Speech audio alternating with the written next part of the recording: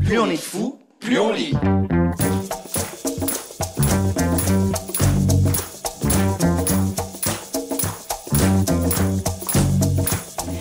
Marie-Louise Arsenault, bienvenue à cette édition de Plus on est de fou, plus on lit, une émission qui vous parvient en direct du studio 17 de Radio-Canada à Montréal. Sur ce plateau aujourd'hui, les trois participantes à la construction d'un abécédaire féministe.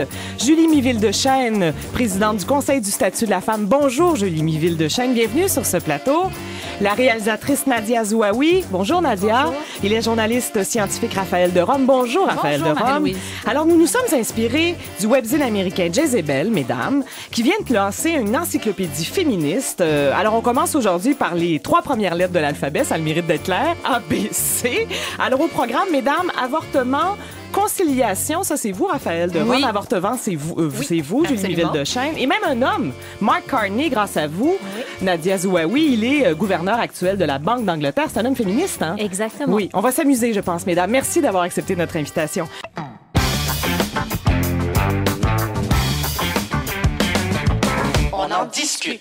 Cet automne, le webzine américain Jezebel, fondé en 2007 dans le but avoué de contrer les images misogynes des femmes diffusées dans les médias de masse, cet automne, donc, Jezebel a lancé The Book of Jezebel, une encyclopédie illustrée de tout ce qui importe à la femme moderne. Un abécédaire où l'on trouve des femmes influentes comme Marie-Madeleine, Maya Angelou, Rosa Parks, Margaret Atwood, mais aussi des concepts comme image, frigidité, harcèlement sexuel, mini-jupe, cellulite et des aussi comme Ryan Gosling. Nous nous sommes donc inspirés de cette encyclopédie pour construire un abécédaire féministe canadien en demandant à des femmes de l'inventer avec nous. Alors cette semaine, pour se prêter à cet exercice, nous accueillons sur ce plateau Julie Miville de Chêne, née le 10 juillet 1959 à Québec, on l'a su, longtemps journaliste à la télévision de Radio-Canada, vous êtes aujourd'hui présidente du Conseil du statut de la femme depuis le 15 août 2011. Avec vous, Nadia Zouaoui, née en Algérie, Nadia, le 7 mai 1967, vous êtes réalisatrice de documentaire. Votre nouveau film, Histoire d'immigrants, sera présenté le 6 novembre euh, prochain au Festival du monde arabe de Montréal. Et Raphaël de Rome est avec nous, journaliste scientifique né le 18 novembre 1980 à Montréal, géographe de formation, co-animatrice de la série Histoire d'objets et collaboratrice euh, de l'émission Comment c'est fait? À, Zap- à Z Télé? Oui. Oui, oui, et aussi du magazine Les- les Explorateurs et Quatre Temps. Voilà. Alors, commençons, mesdames, par la lettre A et un nom propre d'abord avec vous, Julie Miville de Chêne. oui, je suis la plus vieille. Oui, bon, c'est pas pour ça. C'est pas pour ça. D'accord. Oui, Mais les dates de naissance, là, ça cache pas grand-chose. on révèle tout ici. Alors, commençons avec votre choix, Nelly Arcan. Nelly Arcan, c'était pour moi un choix évident parce que, euh, d'abord, ce livre Putain, qu'elle a écrit, son premier livre, Ouais. qu'il a fait connaître, euh, est un livre euh, coup de poing qui m'a euh, beaucoup marqué à cause de l'écriture qui est extraordinaire et à cause de de la lucidité, je dirais, euh, de cette femme. Bon, enfin, on a compris à un moment donné que c'était une autobiographie. On a compris qu'elle était prostituée, Ouais. qu'elle était étudiante C'était de prostituée. l'autofiction. ouais. Et surtout, ce qui est, qui est, comment dire, depuis que je suis au Conseil du statut de la femme, nous avons sorti un avis important sur la prostitution. Or, Nelly Arcan met en mots, et très très bien, le- l'espèce de, au début, euh, de plaisir, de pouvoir gagner de l'argent aussi facilement, le fait que oui, il y a quand même du plaisir dans la prostitution, même si c'est huit gars de suite, on, on y tire quelque chose, la facilité et tout. Et finalement, comment dire, le mal d'être qui est derrière ça, le fait qu'elle avait eu une enfance assez difficile, qu'elle se cherchait, qu'elle avait une très faible estime d'elle-même. Bref, on, on descend aux enfers avec elle et, et finalement, c'est une façon très littéraire d'aborder un problème très difficile. Et pour la prostitution, vous le savez, c'est un problème extrêmement difficile sur lequel les féministes sont divisées. Nous, au Conseil, on est abolitionniste, c'est-à-dire qu'on pense qu'il faut prendre des mesures pour qu'éventuellement il y ait de moins en moins de femmes qui fassent euh, cette occupation. Et de l'autre, il y a les travailleuses du sexe qui, elles, revendiquent le droit de vendre leur corps en disant, vous savez, les féministes, vous nous avez toujours dit que notre corps nous appartenait, maintenant on veut le vendre Ouais. au plus offrant. C'est une problématique extrêmement complexe. Très complexe. Il y a des pays qui ont fait des bons en avant, comme la Suède, où on a criminalisé les clients, mais pas les prostituées. Et je vous dirais que Nelly Arcan, euh, à cause de sa très grande visibilité, a fait penser à ce problème-là et à la fin, elle s'est suicidée. Et, je ne veux pas faire de lien direct, mm. mais je vous dirais que son mal d'être avait peut-être aussi à voir avec ça. C'est avant tout une grande écrivaine. Oui. il faut le dire et le répéter. Alors, le choix de Nadia Zouaoui, toujours dans la lettre A, un nom propre, Christine Atala. C'est une chanteuse d'opéra d'origine libanaise que l'on entend dans Jésus de Montréal, hein, de Denis Arcand, dans la trame sonore, oui. Exactement. Et je, voulais, je voulais vraiment, euh, je pouvais pas passer à cette émission aujourd'hui, ne pas parler d'elle, parce qu'elle nous a quittés il y a deux ans. Mm. Et aujourd'hui, c'est l'anniversaire de, de, sa mort. Mm. Et c'est une femme qui m'a marquée euh, personnellement parce que c'était une amie euh, très proche. Euh, c'est une fille, sa famille est venue du Liban, c'est au début du 19e siècle. Donc, elle vient d'une famille d'origine libanaise. Déjà, elle, elle a dû se battre pour être artiste. C'est une fille qui adorait chanter. Elle a commencé à chanter à l'âge de 5 ans dans les églises. Euh, et puis, elle s'est battue pour être artiste. Beaucoup de rejets de la famille où elle s'est, elle s'est imposée. Elle s'est battue aussi dans, dans le showbiz québécois. Mhm. On la voyait un peu comme une étrangère. Elle était la chanteuse de la diversité et tout. Elle allait euh, se produire un peu partout euh, en dehors du Canada pour représenter le Canada. Alors qu'au Québec, elle était comme on la voyait surtout dans les festivals Nuit d'Afrique ou le Festival du monde arabe. Elle qui ne parlait même pas l'arabe, elle chantait beaucoup en français, en anglais, en espagnol. Et, c'est, je parle d'elle aujourd'hui parce que c'est une femme exceptionnelle, c'est une, une femme très libre, euh, qui n'avait peur de rien qui voulait tout apprendre. Elle faisait du parachute, de la, de, de elle dansait le tango. Elle, euh, elle, elle a, et puis c'est une fille qui, qui était très très engagée, qui détestait l'injustice, qui se battait pour les animaux. Et, et euh, elle, elle avait cette, elle avait brisé ce, ce, je veux dire, quand on parle de femme arabe, on, on, voit cette femme qui est un peu soumise et tout. Et elle vraiment, c'est, c'est une fille avec qui je, je me suis beaucoup aussi, j'ai appris à me libérer avec elle. Et, aujourd'hui, je sais qu'il y a beaucoup de monde au Canada un peu partout dans le monde, ici à Montréal surtout, euh, qui pensent à elle parce qu'elle a marqué beaucoup de gens. On va placer des liens pour entendre sa musique, évidemment, euh, sur nos comptes euh, de réseaux sociaux et sur notre site web. Raphaël de Rome, un nom propre avec un A. Alors, je suis allée avec Anne Opinion Vert. Personnage fictif. Oui. oui. probablement l'une des héroïnes de littérature canadienne les plus connues dans le monde grâce au succès du roman de Lucy Maud Montgomery, publié en 1908. Roman qui a été traduit en 20 langues et qui s'est vendu à 50 millions de copies. Alors, on se rappelle que Anne Shirley est orpheline euh, et au début du roman, elle est adoptée euh, un peu par erreur. Mhm. Mathieu et Marie-La Désiraient un garçon pour les aider euh, sur la ferme. Finalement, ils arrivent à la gare et on leur a envoyé une fille. Ils décident de garder la petite Anne aux cheveux roux, ce qui donnera rapidement naissance à l'une des scènes d'intimidation à l'école les plus mémorables quand le méchant Gilbert Blight la traite de poil de carotte. Oui, c'est vrai. On est au début du 20e siècle. Lecture obligatoire au Japon, d'ailleurs, ce qui explique que de nombreux Japonais viennent littéralement en pèlerinage au Canada. Hein? à l'île du Prince-Édouard. Et, on, tournera euh, un, long métrage à l'île du Prince-Édouard. Ça a été annoncé euh, récemment. Alors, maintenant, un mot avec la lettre A. Julie Méville de Chêne, vous avez choisi avortement. Pourquoi? On ne peut pas passer à côté. C'est une des grandes luttes du mouvement féministe au Canada comme ailleurs dans le monde. Ici, depuis 88, l'avortement est décriminalisé. Donc, les femmes ont accès à l'avortement, mais ça a été grâce à de longues luttes et aussi à un médecin, un homme qui est mort cette année, oui, Henry Morgan Taylor. Et euh, je voulais citer rapidement une petite phrase, une de, de ce qu'il a dit. Si j'aide les femmes à avoir des enfants au moment de leur vie où elles peuvent donner de l'amour et de l'affection, ils ne deviendront pas des violeurs ou des assassins et ils ne construiront pas des camps de concentration. Alors on le voit, c'est toute la vie d'Henry Morgan Taylor, qui lui-même a été dans des camps, donc a été très très influencé par cela. Je vous avoue que c'est un raccourci un peu que cette phrase. évidemment, on, peut adorer un enfant et il peut quand même devenir un assassin, mais de son point de vue, c'était de donner le droit aux femmes de décider quand elles pouvaient avoir ou non un enfant. Donc on doit beaucoup nous les femmes à cet homme qui a été en prison euh, et parce qu'il voulait donner ce droit aux femmes. Et qui a subi du harcèlement toute sa vie. Et je vous dirais, pour peut-être euh, actualiser cette question, vous le savez, le gouvernement Harper a décidé de, consacrer des fonds à la santé des femmes à l'international. Il l'a dit plusieurs fois. Et il s'est aussi, ce gouvernement-là, dit euh, tout à fait opposé au mariage précoce des jeunes filles, mariage forcé. Or, la seule chose que le gouvernement Harper, notre gouvernement canadien, ne finance pas dans cette santé des femmes, c'est la contraception et surtout l'avortement. Or, pour moi, qui est au Conseil du statut de la femme, et je vous dirais même avant, il y a une énorme hypocrisie à ce que nous, les femmes relativement riches au Canada, ayons accès à ce service, ce qui est tout à fait normal. Mais est-ce que les Africaines pauvres et n'ayant pas d'autre solution ne puissent pas avoir accès à l'avortement, donc subissent des avortements clandestins? Vous savez qu'il y a 47 000 personnes qui meurent à cause de ça à travers le monde. Donc pour moi, c'est inacceptable que dans la santé des femmes, l'avortement ne soit pas compris. C'est un droit qui est toujours en péril d'ailleurs, même dans un pays comme le Canada. Merci Julie Miville de Chêne. Un nom, un, un nom avec la lettre A. Raphaël de Rome. Alors j'ai choisi euh, le, le mot autochtone euh, parce qu'il y, a- il y a deux aspects que je vois. Euh, D'abord, dans le, le- les sociétés traditionnelles, les femmes ont souvent un rôle de pouvoir. C'était beaucoup des sociétés Oui. euh, matriarcales. Et l'autre angle, ben, c'est dans le contexte actuel au Canada. On connaît bon toutes les mauvaises conditions de vie dans les réserves et tout, mais les femmes autochtones sont trois fois plus susceptibles d'être victimes de violences que les femmes non autochtones. Sont aussi surreprésentées parmi les victimes d'homicides.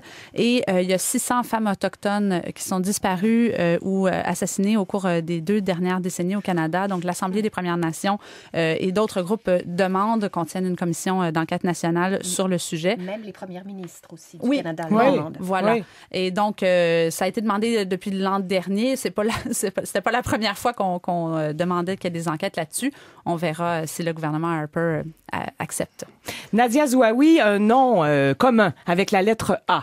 Et ça va oui, faire du alors, bien. euh, le, le mot qui m'est venu comme Oui. ça naturellement, c'est le mot amour, euh, le grand avec le grand A, Euh, parce que je, je trouve qu'il en manque cruellement de nos jours avec toutes les guerres, les, les débats, euh, euh, beaucoup d'intolérance, et, je, trouvais que ça nous manque. Et, quand on regarde un peu les grands leaders de ce monde qui nous ont marqués et qui sont, euh, dont les noms sont restés, euh, comme Gandhi, bon Mandela n'est pas n'est pas mort, mais quand même Martin Luther King, Mère Teresa. Je trouve que dans les grands débats idéologiques, quand ça devient des débats qui n'ont pas ce côté euh, euh, Inclusif, humaniste. humaniste, humaniste, euh, vraiment, euh, je trouve que ça devient un peu des débats moins intéressants. Passons à la lettre B, mesdames. Alors, une personnalité avec la lettre B, Julie Miville de Chêne, vous avez choisi Florence Bird. Alors, Oui. ça, c'est intéressant parce qu'on beaucoup d'entre nous ont entendu parler de la fameuse commission Bird. Mais quand on entend ça, on ne sait pas toujours de quoi il est question. Or, la commission Bird, dans l'histoire du féminisme au Canada, est très, très importante. Euh, C'était Florence Bird, qui était tout d'abord une Américaine, qui est venue au Canada et qui était journaliste. Alors, évidemment, moi, j'aime les journalistes. Et cette femme, euh, assez extraordinaire et très militante, a été nommée à la tête de la première commission d'enquête sur la condition féminine qui a accouché d'un volumineux rapport en oui, c'est Lester 1970. B. Pearson qui l'a nommé Exactement. en 1967. hein. Oui, et Oui. en 70, donc, elle accouche, le mot euh, exact, féminin, ce ça. rapport de 488 pages, 167 recommandations, et c'est un peu la base de ce qu'il faut faire en conditions féminines pour que les choses changent. Rappelez-vous, à cette époque, bon, on parlait des Autochtones, la loi sur les Indiens faisait que les femmes perdaient leur statut quand elles mariaient un non-indien, la discrimination ouverte au travail, l'avortement n'était certainement pas encore un droit en 70, c'était illégal, Euh, la contraception c'était encore difficile. Bref, euh, tout cela fait que la commission Bird et Florence Bird est une femme importante. Merci Julie Miville Deschênes. Nadia Zouaoui, une personnalité avec la lettre B. Vous avez choisi Oui. Khadija Baker. Qui Oui? Khadija Baker, Oui. parce que c'est un de, en fait, le, le, le documentaire dont vous avez parlé que je présente la semaine prochaine, c'est pas un documentaire, c'est 15 histoires d'immigrants. Et, et euh, je trouvais que dans le monde de l'art visuel, ici à Montréal, au Québec, euh, il y a des femmes immigrantes qui font des choses magnifiques.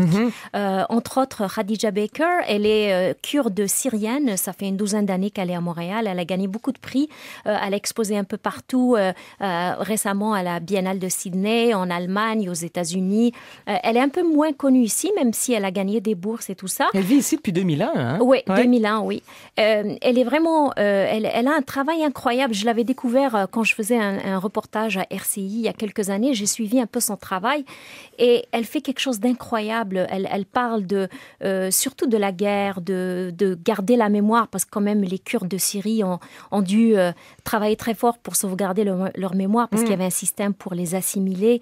Et et euh, elle a une façon très dure. Au fait, c'est comme si elle nous exposait, elle nous prenait comme ça par les tripes et elle nous plaquait devant des réalités qu'on en fait, on les voit pas vraiment quand on voit du reportage à la télé, mais on les vit à travers son art. Elle, elle mélange le textile, les voiles, elle mélange plein de choses et puis c'est des installations incroyables. C'est comme si, si on faisait un voyage dans, dans l'horreur humaine, mais avec une certaine beauté aussi.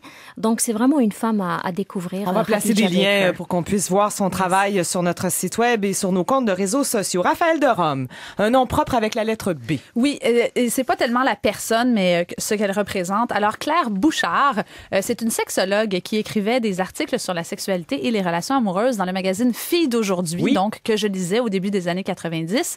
Euh, elle ne Madame Bouchard ne travaille pas. Euh, donc, euh, Madame Bouchard ne fait plus ce travail-là maintenant, mais dans ses articles, donc, on transmettait cette euh, Oui. vision de la sexualité comme étant quelque chose de sain, qu'on peut découvrir et apprivoiser avec euh, un, un- un partenaire. Des articles de fond, donc, qui abordaient des thèmes comme le premier rendez-vous amoureux avec un garçon, le premier rapport sexuel, comment réagir à la violence d'un partenaire, comment réagir si notre parent est homosexuel, etc. Donc, on est assez loin des trucs, des trucs de cruise. Et on n'était pas dans cette logique là, de séduction à tout prix Oui. et tout. Euh, et euh, ben, en fait, je, je souligne son travail parce que je trouve qu'il n'y a plus ça dans les magazines pour jeunes filles actuellement. On parle surtout de mode, beauté, magasinage, star hollywoodienne.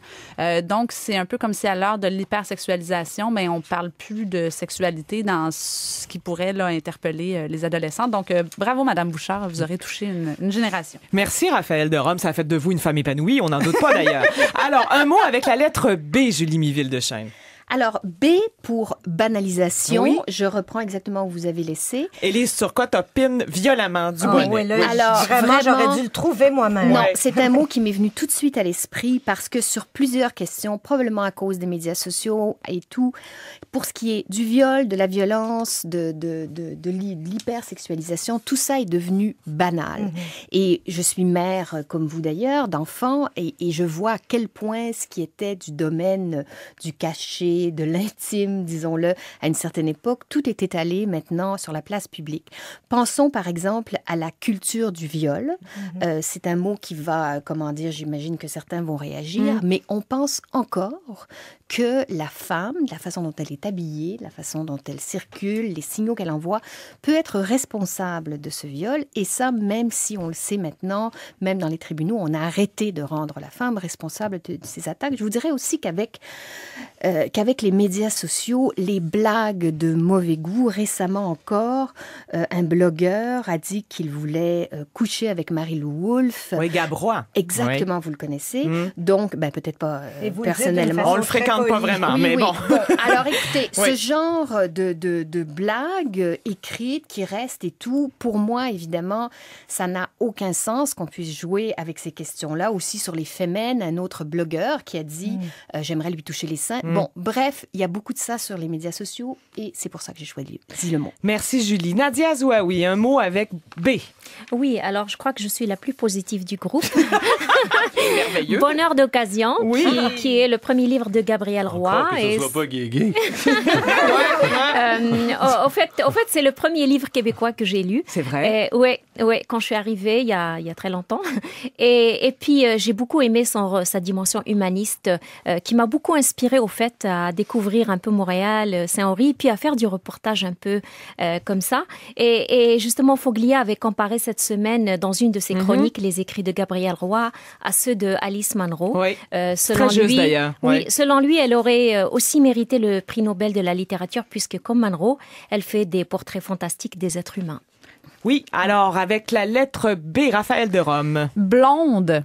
Et je ne parlerai pas de joke de blonde ou euh, des cheveux de Barbie parce que ce serait pas particulièrement canadien. Euh, donc, euh, ce qui m'intéresse dans le mot blonde, c'est au sens de conjointe. Oui. Parce que c'est un, un terme typiquement C'est québécois. vrai. On connaît euh, le- le- la prédilection des couples québécois pour l'union libre. Donc, je pense que dans l'abécédaire, il doit y avoir une éloge du mot blonde. oui, merci Raphaël de Rome. La lettre C maintenant, mesdames, une personnalité, Julie Miville de Chêne avec la lettre C. Alors, Oui. sans nul doute, euh, l'histoire des femmes au Québec Québec depuis quatre siècles par le collectif Clio. Mais Ben oui, vous C'est connaissez un- Jean-François Nadeau. Oui, ouais. c'est un livre qui fait que plusieurs Québécois sont devenus féministes. Livre écrit par l'historienne Micheline Dumont, Michel Jean, Marie Lavigne, Jennifer Stoddard. C'est la première fois qu'on a tenté de regrouper, qu'on a regroupé en fait tout ce qui intéressait et qui concernait les femmes En au Québec. 1982. Deux, Ouais. Réédité en à jour. hein, Ouais. il a été remis Ouais. un jour en 92. Ouais. Là, il mériterait une autre remise en jour. Je parlais à Micheline Dumont hier, justement, qui me disait que ce qui est dommage, c'est que l'histoire des femmes fait encore l'objet d'encadrer et n'a pas été. euh, n'a pas été, ne, fait pas partie des livres d'histoire au même titre que l'histoire des hommes. Donc, on est encore avec une histoire séparée des femmes et il faudrait qu'on unisse les deux pour faire une véritable histoire. Et elle a raison, malheureusement. Nadia, un nom, une personnalité avec la lettre C, un homme. Mark non, Carney. oui. Mark Carney, euh, Carney, parce que bon, c'est l'ex-gouverneur de la Banque du Canada, Oui. et c'est le nouveau gouverneur de la Banque d'Angleterre. Euh, en fait, c'est un homme féministe euh, connu pour ses, ses- ses idées féministes. Et donc euh, avant de quitter son prédécesseur à la Banque d'Angleterre Sir euh, Mervyn King a annoncé que le portrait de Winston Churchill allait remplacer celui de la philanthrope et activiste Elizabeth Frey sur les coupures de 5 livres. Ceci a provoqué une levée de boucliers une oui. pétition de 30 000 noms de, et donc la, et, et- et la me- menace d'action légale en vertu du, du Equality Act de 2010, euh, car ce changement euh, devait faire disparaître toute figure féminine des quatre coupures britanniques. Et donc lui, euh, il s'est battu pour garder ce nom. Et, puis en plus de ça, aussitôt rentré en poste, il a nommé une femme, Charlotte Hogg, au poste de chef des opérations. Aucune femme n'a occupé un poste aussi important à la Banque d'Angleterre en 319 ans. Et puis, il a promis aussi euh, euh, qu'il allait euh, former euh, beaucoup plus de femmes dans, pour occuper les hautes sphères de la finance. Et je tire chapeau à Ben Mark oui, c'est un homme puissant. Bravo, Mark Carney. Raphaël, une femme, une personnalité avec la lettre C. Alors, Rosalie Cadron-Jeté, québécoise du 19e siècle, euh, qui, a, qui s'est mariée, qui a eu 11 enfants et qui, à la fin de sa vie, a fondé euh, les Sœurs de la Miséricorde, communauté religieuse qui aidait les filles mères en leur fournissant un endroit pour accoucher en toute sécurité et dans l'anonymat. C'est important de le souligner parce que les filles mères, à cette époque, euh, c'était extrêmement mal vu dans la société. Si elles étaient pauvres, elles n'avaient nulle part où aller pour accoucher. Euh, donc, euh, voilà, les, les sœurs euh, s'engageaient lorsqu'elles prenaient le, le- le- que- lorsqu'elles faisaient leur vœu de religion, en fait, acceptaient de, de se former en obstétrique, devenaient sages-femmes. Donc, pendant 20 ans, il y a 2700 filles mères qui ont accouché avec les religieuses sages-femmes jusqu'à ce que le clergé et les médecins de l'époque leur interdisent de pratiquer les accouchements. Et donc, ces, ces religieuses-là sont devenues des infirmières au service des médecins dans leur propre hôpital. Quand même, mesdames, en rafale, puisqu'il reste 1 minute 45 à cette émission, puis on accueille Mathieu Dugal sur ce plateau. Un mot en C, donc. Allez-y, Julie Miville de Alors, c'est pour conseil d'administration Oui. parce qu'il faut plus de femmes sur les conseils d'administration des entreprises pour être où le pouvoir économique est.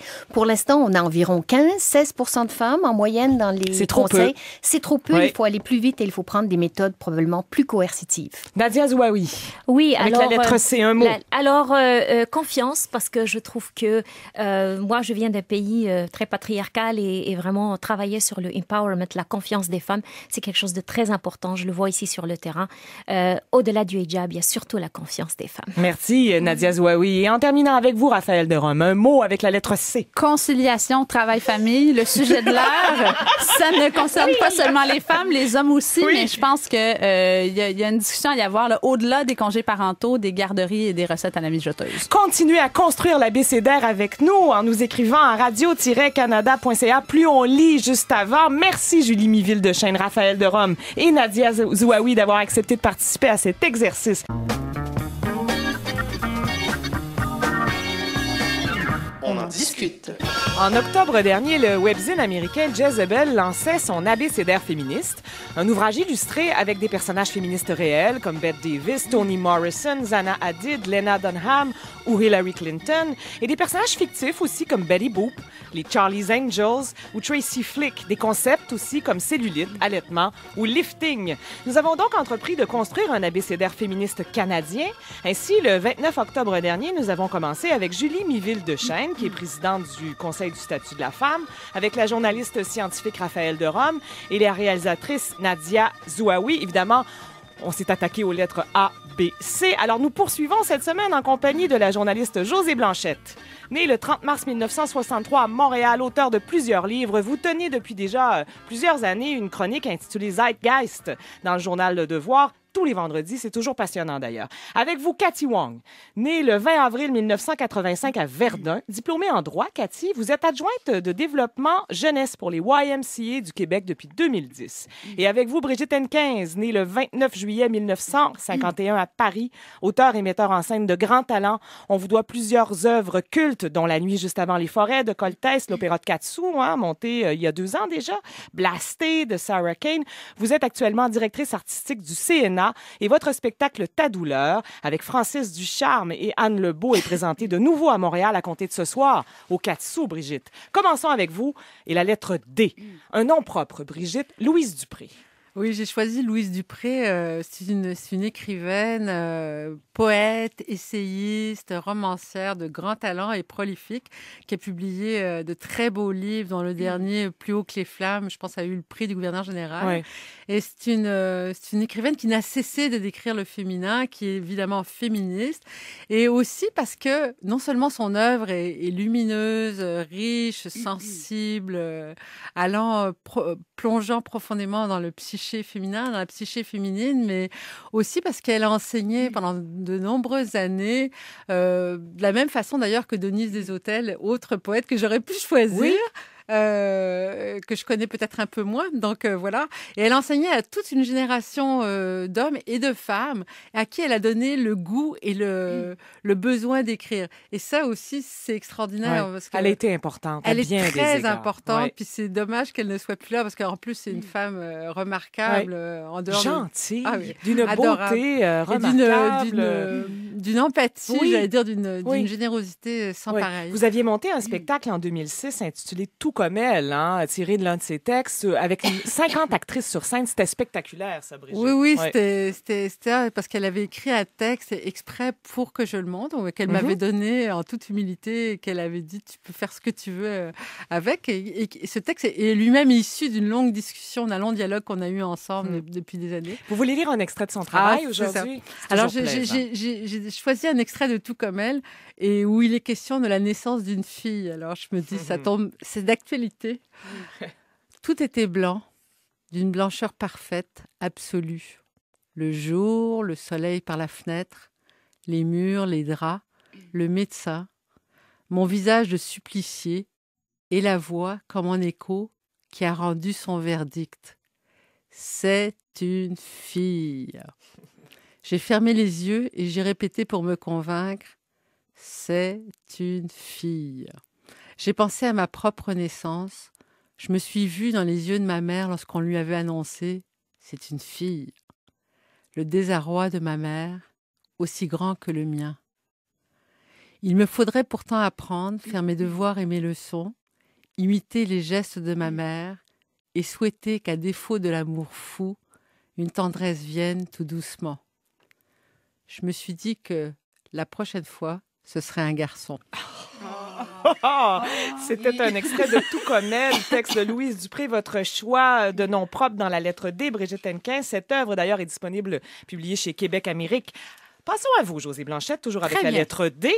Don Juan d'Autriche, c'est-à-dire le dildo. Voilà. J'ai trouvé Si un bien synonyme. compris. Oui, oui, mais c'est un synonyme, un synonyme que je connaissais pas. Et je me suis dit, je vais absolument parler du dildo. Alors, j'ai trouvé Don Juan d'Autriche. C'est quand même extraordinaire. Ça existe, ce Ça mot-là. a fait travailler votre imaginaire. Non, là. non, pas du tout. Ça existe pour vrai, Oui, Marie-Louise. Alors, chérie, passe-moi le Don Juan d'Autriche. Tu sais, ça se dit bien. Je trouve ça un chic. Ça passe mieux aussi. Ben Ça, oui. ben, c'est de la compétition quand même. Hein? Faut pas oublier. Don Juan d'Autriche est un prince espagnol du 16e siècle. C'est un fils illégitime de Charles Quint et on lui a attri- attribué, on a attribué son nom à ce jouet sexuel et euh, pour des raisons assez obscures. J'ai jamais oui. trouvé la raison. Parce que ça existe depuis longtemps. On aurait trouvé ça Oui, dans mais des grottes, hein, vibrateurs, des dildos Ah euh, en pierre. Ah, Ben ben, oui. gardons si vous êtes renseigné. Alors, euh, je j'ai pas remonté jusqu'au paléolithique, mais, mais disons que euh, le godniché, le vibrateur, quand l'électricité est arrivée, c'est une démo- dénomination. Donc, euh, moi, je trouve ça assez romantique et chevaleresque, en fait, euh, Don Juan d'Autriche. Et j'espère lancer quelque chose aujourd'hui avec cette terminologie.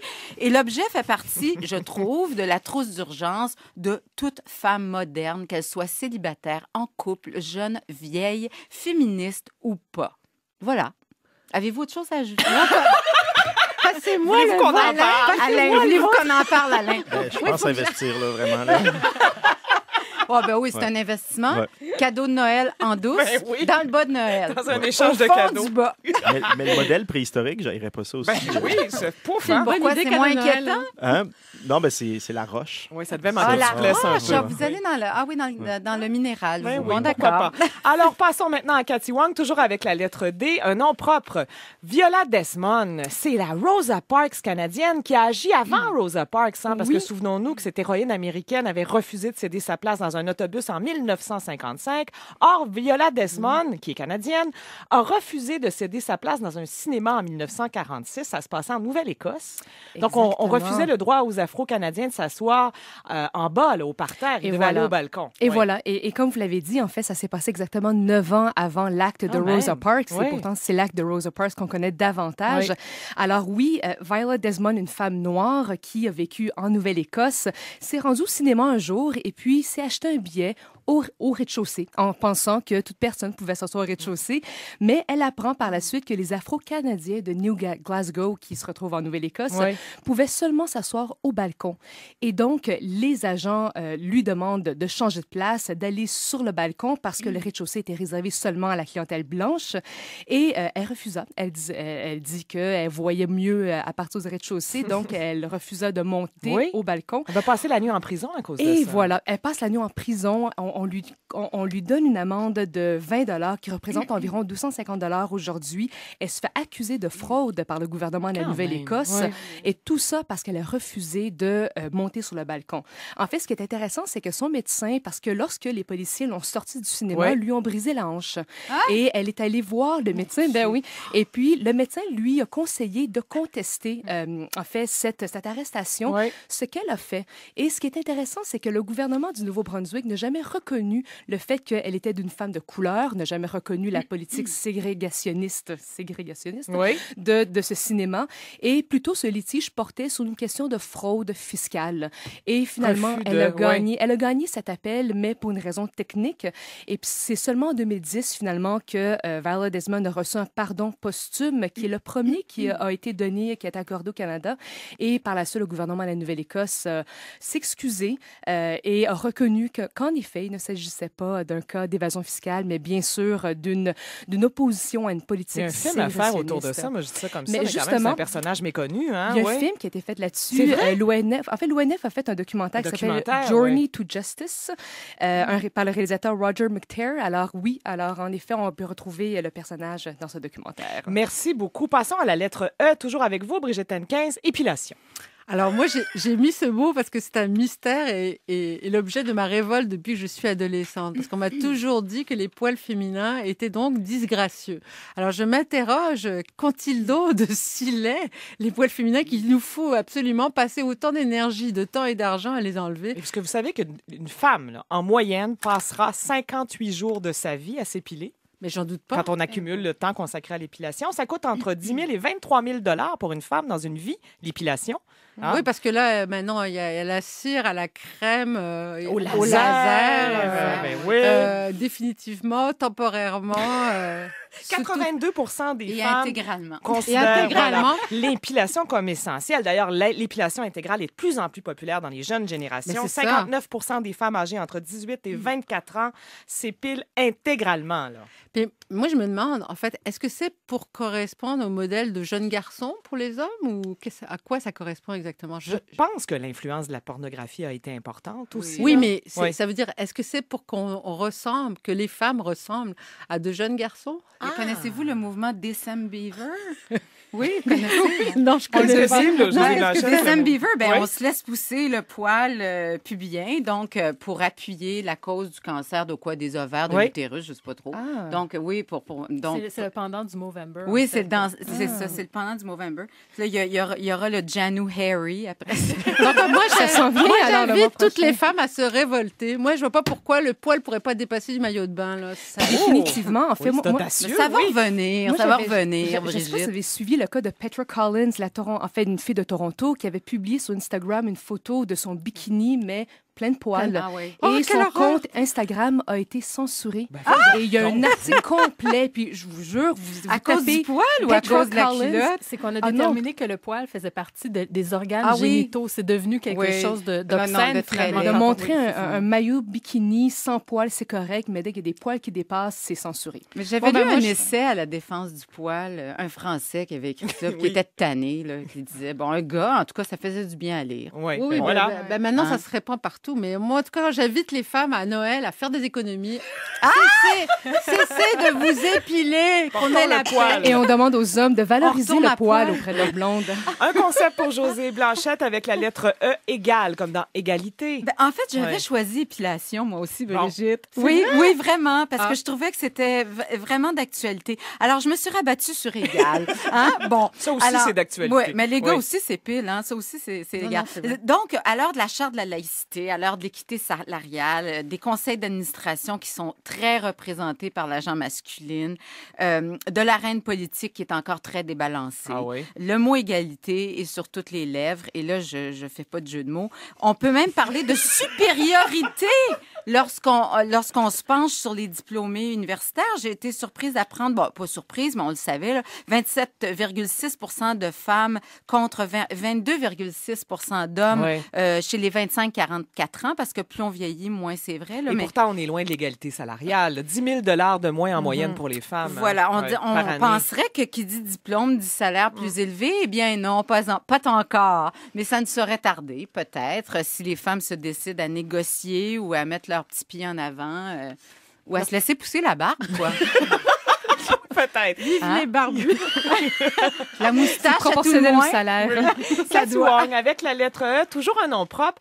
Henrietta Edward, elle est née en 1849 à Montréal. C'est l'une des célèbres cinq, c'est-à-dire une militante pour le droit des femmes, qui a tenu à obtenir la reconnaissance des femmes comme personnes. Ça se passait en Exactement. 1927, parce qu'à l'époque, on disait que les femmes étaient des créatures. Elles avaient moins de droits, évidemment, ou à peu près pas de droits au point de vue civil. Et surtout, elles n'étaient pas des personnes. Voilà. Et c'est ce que j'ai appris pendant mes études en droit, en fait, qu'avant 1928, les femmes n'étaient pas des personnes. Ça m'avait complètement bouleversée. Et puis, euh, c'est grâce justement à des femmes comme Henrietta Edwards et puis ses quatre autres euh, amis qui a décidé de se battre en Cour suprême Oui. pour que les femmes puissent être reconnues comme des personnes.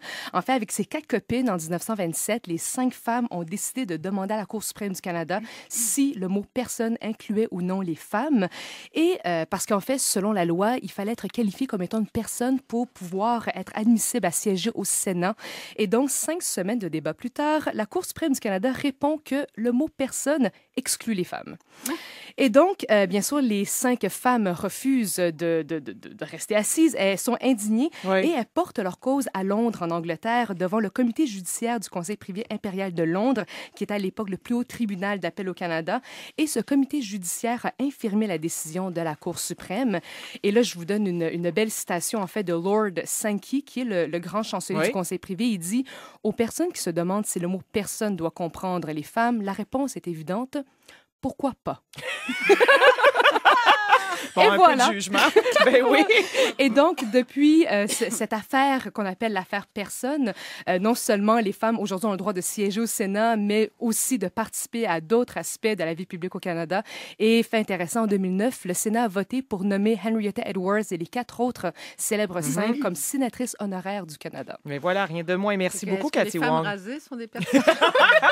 Ah, Revenons encore, au corps des femmes. Revenons au corps des femmes, Brigitte Henkins, et aux féministes avec la lettre F. Vous avez choisi Femen. Elle serait une vingtaine au Québec. C'est évidemment un mouvement qui est né en Ukraine et elles ont manifesté le 1er octobre dernier à l'Assemblée nationale. hein. Oui, puis moi, ce que je trouve formidable dans les femmes, quand même, euh, c'est le côté, euh, c'est leur subversion en fait. C'est le fait qu'elles utilisent leur corps pour comme instrument politique et aussi comme outil de défense. Moi, je trouve ça extraordinaire de voir des photos de femmes à poil, si je peux dire, le torse nu et malmené par la police en fait, avec les seins euh, euh, à l'air. Sans Donc- aucune connotation sexuelle. Non, c'est ça, Ouais. exactement. Donc, tout d'un coup, c'est comme si leur, leur corps, qui est objet, euh, qui est utilisé normalement comme euh, euh, d'une façon érotique et tout, et, et là, euh, sert de défense, en fait, à, à des arguments politiques. Alors, je trouve ça euh, quand même euh, nouveau. Oui, on considère que c'est la troisième ou même la quatrième vague du féminisme, elles sont quand même assez controversées aussi. Hein? Ben, elles sont controversées Ouais. comme tout ce qui est féminin, en fait. Mais moi, Non, je mais je trouve qu'elles ont oui. l'air d'Amazon. oui, c'est beau. Ouais. Non, non, mais moi, je trouve que c'est- une revendication de, de ton corps euh, d'une façon batailleuse, en fait. euh, qui C'est ça qui est la beauté du panache de, de Moi, ça. je trouve qu'il manque de modèles diversifiés du corps des femmes. Je trouve que souvent, les, les femmes, lorsqu'on les voit dans les journaux, c'est toujours le même corps, Oui. les beaux seins, euh, Les la femmes belle jeunes, taille. Mais même qu'on a vue à l'Assemblée nationale, là, je ne vais pas viser personne, mais c'était pas, euh, c'était pas canon. Non, là. moi, je suis d'accord avec, avec toi. euh, c'est pas forcément canon. Puis après tout, elles sont jeunes, elles sont pas. sais, c'est bon. ça. Bon. Puis une femme, c'est toujours beau, anyway. Là, tu sais. mais euh, ça, c'est comme les gens qui reprochent que, justement, s'il y a plein de femmes sur scène, comment ça se fait qu'il n'y a pas de laidron? Qu'est-ce que ça veut dire, ça? Ah non, mais pas de laidron, mais juste de diversité. Oui, c'est pas pareil. Ouais, ouais. Non, je comprends. Je Oui, comprends. oui, Alain Farah. Oui, par rapport aux, aux femmes, moi aussi, je suis, je suis, très, je suis très sensible à, à ce geste politique, mais j'ai remarqué qu'il y a- il y, a beaucoup de gens qui essayent de faire passer ce geste-là comme controversé Mhm. du fait qu'elles utilisent leur corps, mais je trouve que dans l'argument de ceux qui s'opposent aux féminin, c'est comme si eux-mêmes sont pas capables de se représenter ce corps-là autrement que comme un objet de désir, alors qu'elles sont là et, et- et elles le revendiquent purement euh, et simplement, c'est-à-dire euh, pour ce qu'elles sont, c'est-à-dire, et c'est à nous, on est confronté à nos propres représentations.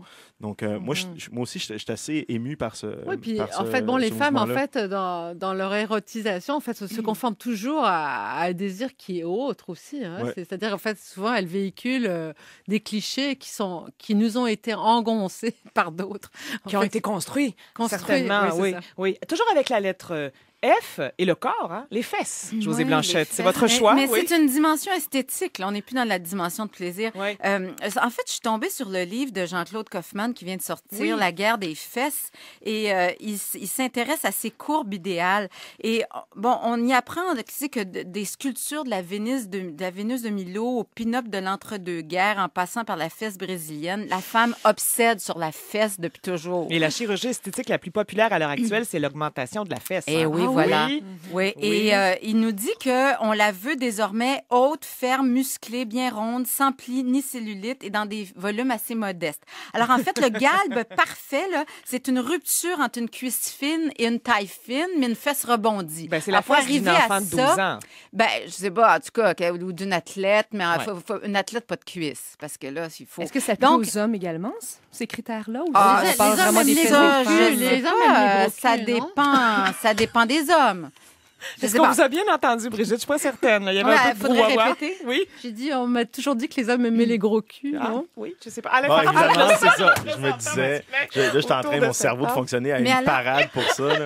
Mais alors, pour arriver à, à- Lui, il dit que c'est un prodige anatomique, là, mais euh, effectivement, parce qu'il y a beaucoup de travail à faire pour arriver à une fesse rebondie sur une cuisse fine, travail soit euh, au gym ou Oui. euh, Ouais. sous le bistouri. C'est clair. Donc, moi, je me dis que, que on a encore de, de grandes luttes à faire euh, du côté de la fesse euh, et euh, de nos désirs calipiges. Ben oui, Il fallait que je mette ce mot-là. Ben, c'est- tellement beau. Ce. Acceptons la fesse dans tous ses états. Voilà. Terminons avec la lettre Wow. F et le choix de Cathy Wong. Encore un nom propre. Rose Fortune, c'est la première femme policière canadienne. Elle est née de parents esclaves. C'est quand même remarquable vos choix aujourd'hui, vous. Elle est née en 1774. Elle a travaillé en Nouvelle-Écosse, c'est ça, comme? Exactement. Je, je suis fascinée par la Nouvelle-Écosse aujourd'hui. Ces deux femmes Ben que je ramène la Nouvelle-Écosse. tout est possible en Nouvelle-Écosse. Mais euh, en fait, moi, j'ai toujours été fascinée par les femmes pionnières dans les métiers traditionnellement masculins, Oui. mais encore plus lorsqu'il s'agit d'une femme pionnière racisée, donc euh, en plus euh, de minorité visible et d'une famille parents d'esclaves. Et donc, Rose Fortune, elle, elle est née pendant la Révolution américaine en 1774 euh, de parents esclaves. Euh, comme des milliers d'esclaves, en fait, noirs, la famille de Rose Fortune a fui les États-Unis. Oui, vers le Et Canada. vers le hein. Canada, Ouais. voilà, il s'est retrouvé dans la ville d'Annapolis Royal. Et c'est très difficile difficile de retrouver en fait son parcours, son récit, mais on a quand même réussi à trouver des feuilles qui euh, classaient sa famille comme étant des nègres libres à leur arrivée à Annapolis Royal en juin 1783. Et comme travailleuse, ce qui est fascinant, c'est qu'elle a commencé comme porte-bagages qu'elle s'est créée elle-même. Elle, a- pris une brouette, elle faisait des livraisons entre les quais puis les hôtels. Et puis, elle tenait beaucoup à son entreprise, même lorsque les jeunes euh, tentaient de porter atteinte à son monopole. Donc, elle réprimandait ces jeunes très sévèrement. Et c'est comme ça qu'elle s'est fait connaître à travers euh, sa capacité à garder les jeunes disciplinés.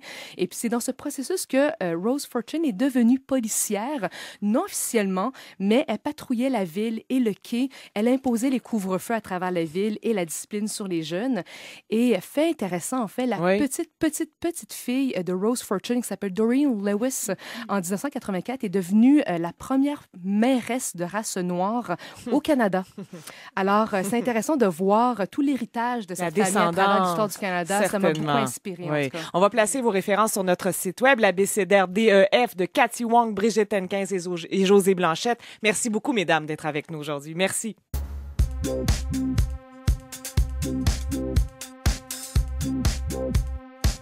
Thank you. On en discute.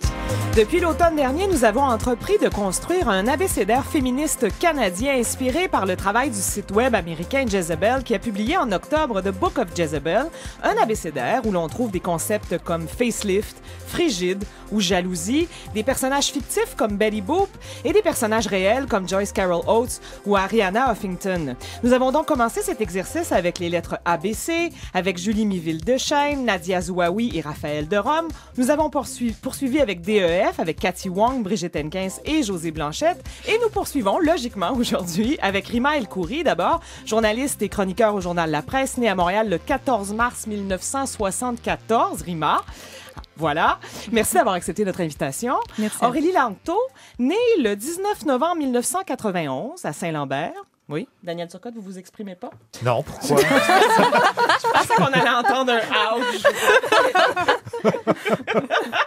Aurélie, vous poursuivez des études présentement de droit à l'Université McGill. Euh, on a pu vous lire aussi euh, sur le blog Urbania.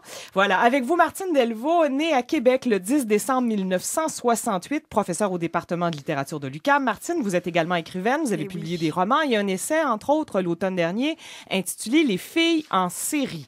Alors aujourd'hui, on s'attaque aux lettres G-H-I. On commence avec vous, Martine, et la lettre G. Oui. Le point G, Martine. Le point G. Ben oui, pourquoi Eh pas? Ben, j'ai fait ma recherche. Est-ce et un puis, mystère? euh, Est-ce voilà. un mythe? Oui. Exactement. Il y a quelques semaines, euh, José Blanchette, c'est en son honneur que j'ai choisi le point G, puisqu'elle avait salue. parlé du Don Juan d'Autriche. Et bon, c'est pas par- un vibrateur. Voilà, c'est un vibrateur. Et après, mon deuxième mot, bon, va nous ramener à ça encore, malheureusement, mais bon. Euh, et c'est pas par boutade que j'ai choisi le point G, parce que je suis pas sexologue et je suis pas particulièrement à l'aise euh, euh, de parler de sexualité à la radio. Mais euh, la question du point G est importante pour euh, le féminisme, justement parce qu'on peut se demander est-ce que c'est un mythe ou une réalité? Absolument. C'est une sorte de point de, de hum, graal de la sexualité féminine, euh, ce qui nous ramène encore une fois le corps de la femme à une sorte de continent noir, cette, cette, euh, ce territoire inconnu qu'on veut sans cesse euh, découvrir. Et ce que je crains tout le temps quand il s'agit de, de cette approche du corps féminin d'un point de vue scientifique, Mhm. bon, comme c'est le cas euh, quand il s'agit du point G, c'est qu'on l'essentialise et qu'on ramène sans cesse la femme à son anatomie, qu'on l'identifie euh, par ce biais-là. Le point G, quel est le problème? Alors, c'est revenu à l'ordre du jour avec une femme qui s'appelle Beverly Whipple, qui Oui. en 82 a publié un livre qui est devenu un best-seller traduit en, en plusieurs langues, qui s'intitulait euh, The G-Spot. Donc, Beverly Whipple, qui encore aujourd'hui est scientifique et travaille sur la sexualité des femmes. C'était quelques années après le rapport Hyde, quand même. Voilà. Ouais. Et le grand conflit, c'est entre Beverly Whipple et Sheer Height. Donc, Whipple, elle, voulait défendre les femmes euh, qui éjaculaient. Donc, ça, c'est une autre dimension. On va pas en parler aujourd'hui, mais les femmes fontaines. Mhm. C'est relié au point G. Et comme ces femmes se sentaient anormales, euh, Beverly Whipple, en tant qu'infirmière et scientifique, voulait qu'elles se sentent normales. Donc, elle a fait une étude sur une, plusieurs centaines de femmes et s'est rendue compte... euh, que ce point G que euh, Grafenberg avait déjà euh, Identifié dans les années identifié 50, existait ouais. pour vrai. Bon. Après, Sheerheight, elle avait fait une étude qui en venait à, à des conclusions bien différentes. Elle disait que deux tiers des femmes qu'elle avait interviewées ne jouissaient pas pendant la pénétration, mais jouissaient pendant la masturbation. Donc, grand conflit, puisque d'une part, euh, le point G nous ramène à la pénétration, donc à l'organe masculin, et Sheerheight accusait le point G de euh, remettre les femmes à leur Ouais. place. Il y a Freud aussi qui disait que les femmes clitoridiennes voilà. manquaient de maturité. hein. Voilà. Ouais. C'est intéressant tout ça, comme ben, concept. c'est Non, mais que, quand même. voilà. La la vraie femme jouissait vaginalement, bien sûr, euh, dans la perspective de la procréation, Ouais. alors qu'une femme immature jouait euh, d'un point de vue, euh, enfin, du- par le clitoris. Mon Dieu, comme vous voyez, je suis très à l'aise. Mettez-vous à l'aise, on est en compagnie de Caroline Allard. c'est ça, oui, je sais pas comment elle fait. En fait, tout ça pour dire que moi, ce qui me gêne là-dedans, c'est que j'ai l'impression qu'on est, en tant que, que femme et en tant que féministe, Ouais. toujours prise entre, entre l'arbre et l'écorce. Entre euh, la possibilité d'un savoir toujours plus grand sur le corps des femmes. Je pense entre autres au livre de Naomi Wolf publié euh, il y a un ou deux ans, The Vagina, qui est très intéressant, mais qui a causé toute une controverse dans les milieux Ramène la femme à féministes. son vagin. Absolument. Ouais. Donc, d'une part, c'est intéressant, par exemple, de savoir que le clitoris, c'est un ensemble nerveux qui, qui en fait, se propage pendant, euh, durant, enfin, pour tout le périnée. Encore une fois, très à l'aise, je suis. Euh, mais euh, c'est très, oui, c'est très dangereux. Ouais. Euh, Il y a la performance aussi. et hein. voilà, il y a le danger de la performance, Ouais. les femmes qui se sentent pas euh, compétentes en tant que femmes parce qu'elles jouiraient pas de la bonne façon, leur partenaire, homme ou femme d'ailleurs, qui n'arrive pas à trouver le foutu point G, bon, etc. Et puis en bout de ligne, moi je veux bien, je préfère garder en tête les leçons féministes et les leçons, d'abord la mise en garde foucaldienne de Michel Foucault, que tout savoir suscite un pouvoir, et donc il y a un grand danger. Plus on en sait, plus il y a un risque de profiter de ce savoir pour euh, contrôler les femmes en particulier. Et puis je, veux, je préfère penser comme Foucault encore une fois et comme les féministes actuelles, les féministes du genre sexué, qu'au fond l'anatomie est pas si importante que l'imagination, la culture, la créativité nous amènent bien plus loin. L'abandon, Martine, l'abandon. L'abandon, voilà Toujours comme moi en avec- ce moment. Oui, toujours avec la lettre G, Rimaël Coury, garderie. Oui, Oui. garderie. Donc, on, on change un peu de registre, là, du point G à la garderie. C'est le résultat de l'acte sexuel. Mais une non, j'admire le, le courage de Martine. Euh, donc, euh, la garderie, donc, euh, formidable outil euh, d'émancipation pour les femmes et aussi, euh, comme toujours, souvent une source de culpabil- culpabilisation pour les mères. Oui, euh, absolument. beaucoup moins que pour les pères. Euh, Et euh, bon, comme si on, à tort, on idéalisait une, une- une époque bénie où les mères restaient au foyer et tout allait bien. Donc, il y a, les, il y a cette culpabilité qui, qui traduit en fait un message social qui est renvoyé aux, aux femmes, une pression. On, on dit parfois les femmes se mettent elles-mêmes la pression. Non, je crois qu'il y a- il y, a vraiment, elles ressentent le message social qui les, que les renvoyé.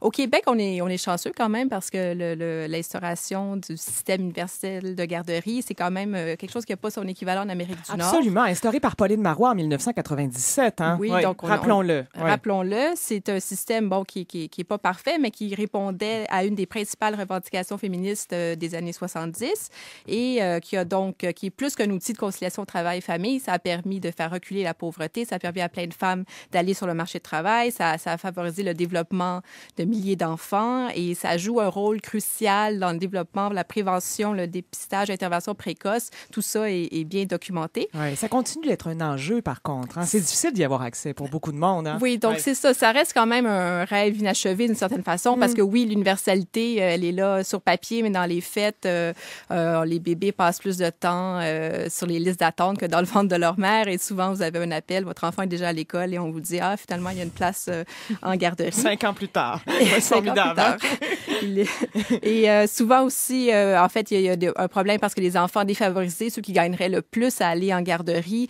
c'est souvent ceux qui, le, qui fréquentent le moins le- les CPE. Donc là, il y a encore plein de, de, de problèmes de ce côté-là à régler. Mais malgré tous ces défauts, on peut dire que bon, le système de garderie au Québec, ça reste un investissement social qui en vaut la peine.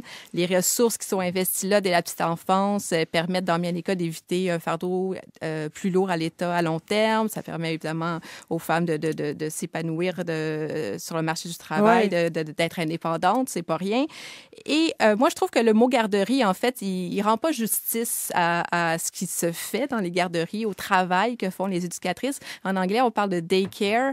Il y a le mot care. le- le- en français, ça se traduit pas vraiment soin de jour. C'est pas tout à fait ça, ouais. mais c'est plus mais- infantilisant hein, comme terme, garderie. oui, comme Ouais. si, en fait, on ne faisait que garder les enfants comme un parking pour enfants, alors que c'est beaucoup plus que ça. Les- les- les- la mission des éducatrices, c'est vraiment de, de- bah, d'éveiller les enfants, les, de les stimuler, de les préparer à- pour la vie, pour l'école. Donc, c'est, c'est pas rien, c'est beaucoup C'est un plus travail que- considérable, hein, Tout à qu'il faut fait. souligner absolument. Merci, Rimal Coury. Lettre G, Aurélie Lanto. Le mot grosse. Grosse. Oui, parlons-en. grosse, à quoi on pourrait rajouter, à mon avis, toujours trop. Absolument. Toujours trop grosses sont L'image les corporelle femmes. des femmes. Absolument. ouais. C'est ce que je dirais peut-être un des outils de culpabilisation par excellence des femmes, euh, principalement par le procédé qu'on appelle, puis là, je m'excuse de ne pas avoir trouvé de meilleure tra- de, de traduction, mais par ce procédé qu'on appelle le fat shaming. Bon, moi, je l'ai appris grâce à vous. Il y a un groupe masculiniste qui prône le fat shaming. Ben, écoute, ben, il y en a qui explicitement se, se vouent à ça. Oui. Ils disent, bon, nous, on, on veut notre, notre, notre, notre, notre mission dans la vie, c'est de faire culpabiliser les femmes par, en- par rapport à leur surplus adipeux. Mais c'est hein? aussi quelque chose qu'on peut faire un peu de manière inconsciente, qui est de dire euh, euh, que les femmes qui auraient un surpoids, si léger soit-il, on, on se sentirait légitimé de euh, poser un, un- un jugement négatif à leur endroit. Alors souvent, ce qui est fou, c'est que ce- ce- le surpoids devient chez les femmes non seulement un enjeu esthétique, mais on lui accorde une charge morale. Mhm. Donc, les femmes qui sont un peu grassouillettes vont être souvent présumées lâches, paresseuses, souvent même hargneuses, parce qu'on se dit, bon, ben, elle est tellement elle est grosse, elle doit pas avoir beaucoup de succès avec les hommes, elle doit être frustrée. Donc, euh, c'est On c'est pense à- à une expression populaire aussi, là. Euh, oui, exactement. Qualifier les femmes frustrées. Oui, oui, vraiment. Tout le monde y on dit- pense. Oui, on est... est-ce qu'on est obligé de le dire? Non, je- oui. je trouve aussi que de plus en plus dans le langage populaire, grosse vient avec ma tante, que moi, personnellement, je trouve absolument misogyne. mais, Ah euh, oui, c'est vrai. Il y a ça aussi, Oui. grosse ma tante. Oui. Maintenant qu'on y pense, il y a ça. Et c'est fou de voir le, le contrôle que ça peut avoir sur les gens parce que euh, il, suffit de le googler pour voir des témoignages de femmes qui ont, qui ont subi ce fameux euh, fat shaming-là et qui disent, dès la tendre enfance, quand moi j'étais j'étais bon, plus enrobée que toutes les autres petites filles, et euh, déjà l'attitude des autres à mon endroit était différente de celle des petites filles minces et jolies, dans ce sens que moi, on prenait pas la peine de me faire l'espèce de, de même petit discours sur, tu sais, les petits garçons bientôt vont s'intéresser à toi et, et machin, machin. Donc, déjà, dès l'enfance, il y a une discrimination qui. Absolument. Et d'un autre côté, il y, a une, il y a une espèce de discours complètement contradictoire qui consiste à, à promouvoir dans les médias de masse l'acceptation, l'estime de soi. Vous savez, avec ces campagnes un peu à la Dove, euh, Rose Bonbon, de dire toutes les femmes sont belles. Mais ce qu'on en comprend finalement, c'est que les femmes sont belles et qu'elles doivent s'accepter tant et aussi longtemps qu'elles sont dans un certain cadre. Et si elles en débordent, c'est leur faute. Oui, tout à fait. Donc voilà. le, le syndrome du un belle, grosse, mais elle a un beau visage. Ben Oui, exactement. elle est drôle. Elle est sympathique. Passons maintenant à la lettre H avec vous, Martine. Hystérie. Et oui, Ouais. ben, en parlant de débordement, je pense que l'hystérie, euh, c'est un mot important parce qu'il a servi à contrôler justement les débordements des femmes. Donc, comme on, bon, je disais à la blague que ça nous ramène au vibrateur, euh, j'ai choisi ce mot après avoir vu le film de Tanya Wexler, Oui. Hysteria, Oui. qui raconte un peu l'invention du premier vibrateur dont on se servait pour soigner euh, les femmes hystériques. Donc, à l'époque, euh, c'est la fin du 19e siècle en Angleterre et le médecin dit à peu près la moitié des londoniennes sont hystériques. Pareil en France, à Paris, sous Jean-Martin Charcot, il y a eu toute une école euh, à la Salpêtrière où on enseignait comment diagnostiquer l'hystérie. Et comme on sait, pour revenir à ce cher Freud, l'hystérie était aussi euh, à la base, puisqu'il a, il a étudié auprès Oui. de Charcot, euh, l'hystérie est fondatrice de la psychanalyse. Donc, l'hystérie qui nous ramène Hmm. chez les Grecs, qui euh, considéraient que l'utérus des femmes était migrateur, Ah, ça, c'est qui- intéressant. qui, Bon. se baladait à l'intérieur du corps. Oui. Euh, Platon le décrit comme un animal qui désire engendrer des enfants et qui aussi il laisse, il, il reste trop longtemps inoccupé, alors il cause plein de graves maladies. Mais voilà, on est encore dans des notions de pouvoir et de contrôle du Voilà, corps des femmes, exactement. hein, ouais. Et en fait, l'hystérie, bon, c'est un, un diagnostic un peu fourre-tout qui maintenant n'existe plus, quoique j'écoutais Trauma la semaine dernière et ce, on a bon, dit d'une jeune femme qui avait été violée qu'elle était, elle avait un comportement histrionique. Donc ça reste. hein. Tout de suite, on va accuser rapidement les femmes d'être hystériques dès qu'elles s'indignent, dès, qu'elles sont trop véhémentes, euh, dès qu'elles rougissent trop, euh, elles sont en colère. ouais, Donc tout de suite, socialement la voilà. colère des femmes. Exactement, ouais, parce ouais. qu'une femme doit être régulée. Elle doit être réglée. Et il faut donc contrôler l'utérus pour régler la femme. Et l'hystérie a été, donc, à la fin du 19e, au début du 20e et même pendant un certain temps, un des diagnostics utilisés pour enfermer les femmes. Donc, des pères dont les filles étaient euh, désobéissantes ou un peu trop frivoles, des prostituées, euh, des euh, veuves qui euh, souffraient de solitude. Tous les prétextes étaient bons pour enfermer les femmes et l'hystérie. Voilà. Et les comme artistes, Camille comme Camille. Claudel, dont on a, su- on, on a vu à la fin de sa vie qu'elle était devenue docile. Mais bien sûr, docile, on, on a- on l'a battue, en fait. On, l'a empêchée d'être l'artiste qu'elle était. Euh, alors qu'on va parler d'artistes maudits en- quand, on- quand il s'agit des hommes, on va parler de femmes hystériques. euh, ou d'hystérique pour parler des artistes femmes. Donc voilà. Voilà, merci Martine Delvaux. Toujours avec la lettre H, Rima El Khoury, honneur, comme dans Crime d'honneur. Oui, crime d'honneur. Donc, on reste dans le, le- le contrôle, le, le- le besoin d'avoir un, un- un pouvoir sur la sexualité de la femme, mais bon, poussé à l'extrême. Euh, bon, ici, euh, l'horrible affaire Shafia, qui a touché une famille euh, d'origine afghane de Montréal, ça a été l'occasion d'une prise de conscience collective. C'était sur la réalité des, des crimes d'honneur ici même au pays. Bon, c'était malheureusement pas le premier crime du genre euh, commis au Canada. Depuis 1991, on en a recensé 26, ce qui est énorme. Euh, donc, ça, c'est selon les chiffres du Conseil du statut de la femme Ouais. qui a publié un avis euh, sur la question en Et C'est ce octobre. qu'on sait aussi, là. C'est ce qu'on sait aussi, parce que c'est souvent une réalité cachée. Bon, certains vont dire, ah, 26, c'est pas beaucoup, parce que si vous regardez juste les homicides conjugaux, euh, en 10 ans, il y en a eu plus de 700. Euh, en fait, 26, ça reste 26 de trop, et je pense que c'est utile de, de- de les nommer, parce qu'une fois que le- le- qu'on qu'on- nomme ce type de violence-là, je pense qu'on peut mieux agir pour euh, faire en sorte que ça ne se- ça n'arrive pas. Euh, et 26, c'est juste la pointe de l'iceberg parce qu'il y a aussi toutes les violences euh, liées à l'honneur, du mariage, mariage forcé, les viols, etc. Donc, c'est une réalité horrible qu'il faut, dont il faut parler, qu'il faut dénoncer. Selon l'ONU, les crimes d'honneur sont en croissance dans le monde. On estime qu'environ 5000 femmes en sont victimes chaque année. Euh, on dit crime d'honneur, mais évidemment, là, le mot honneur, il, il est perverti. hein. Moi, je, je le mets entre guillemets parce qu'il n'y a évidemment rien d'honorable euh, dans ces crimes-là. Euh, C'est culturel aussi. Ça, ça découle de la vendetta qu'on pratique aussi dans plusieurs pays. Hein? Ouais. Euh, oui, en même temps, c'est c'est pas l'apanage, disons, d'une seule culture ou Mhm. d'une seule religion. C'est- important de, de le rappeler Absolument. là, en ces temps de, de débat sur la charte. Donc, euh, c'est pas exclusif aux cultures non occidentales. Mais bon, pour définir le, cr- le crime d'honneur, l'ONU dit qu'il y a trois éléments clés qui les caractérisent. Donc, il y a un pouvoir de contrôle sur la conduite de la femme, la honte ressentie par une femme qui a perdu, euh, ben, par un homme qui a perdu ce pouvoir de contrôle-là, et une pression de la collectivité ou de la famille qui contribue à aggraver cette honte-là. Euh, il y a dans un avis donc très étoffé sur la question que le Conseil du statut de la femme a déposé en octobre dernier. Ils ont émis plusieurs recommandations. Bon, qu'est-ce qu'on fait? On- Il y, en a eu, il y en a dont on n'a pas entendu question, parler. hein. Qu'est-ce qu'on fait avec ça? Et euh, ils ont plusieurs recommandations très intéressantes, dont euh, revoir les procédures ac- actuelles au sein de la DPJ, parce que ce qui est, ce qui est très, triste, très triste dans l'affaire Chafia, c'est que ces filles-là ont appelé à l'aide, elles ont demandé de l'aide, mais le système a été incapable de, de, de, de- Les de protéger, de les entendre. Euh, il y a parmi les, autres recommandations aussi, euh, briser les tabous, en fait, autour de ces violences-là liées à l'honneur. Donc, on- donc euh, que dans, les communo- dans certaines communautés où ça se passe, qu'on en parle, qu'on encourage euh, des victimes à, à- à témoigner. Et donc, voilà, c'est un sujet dont, dont il faut parler. Il faut en parler. On en parle beaucoup, mais il faut en parler de façon non sensationnaliste et Oui, espérer que... avec humanité. Oui, Oui, tout à fait. C'est ça qui est difficile. Hein? Merci, Rima. Toujours avec la lettre H. Aurélie Langto, le mot homme. Homme, ou plutôt la place des hommes dans le discours féministe. Euh, D'abord, il y a ce, ce fameux mythe à la coin dure voulant que les féministes détesteraient les hommes.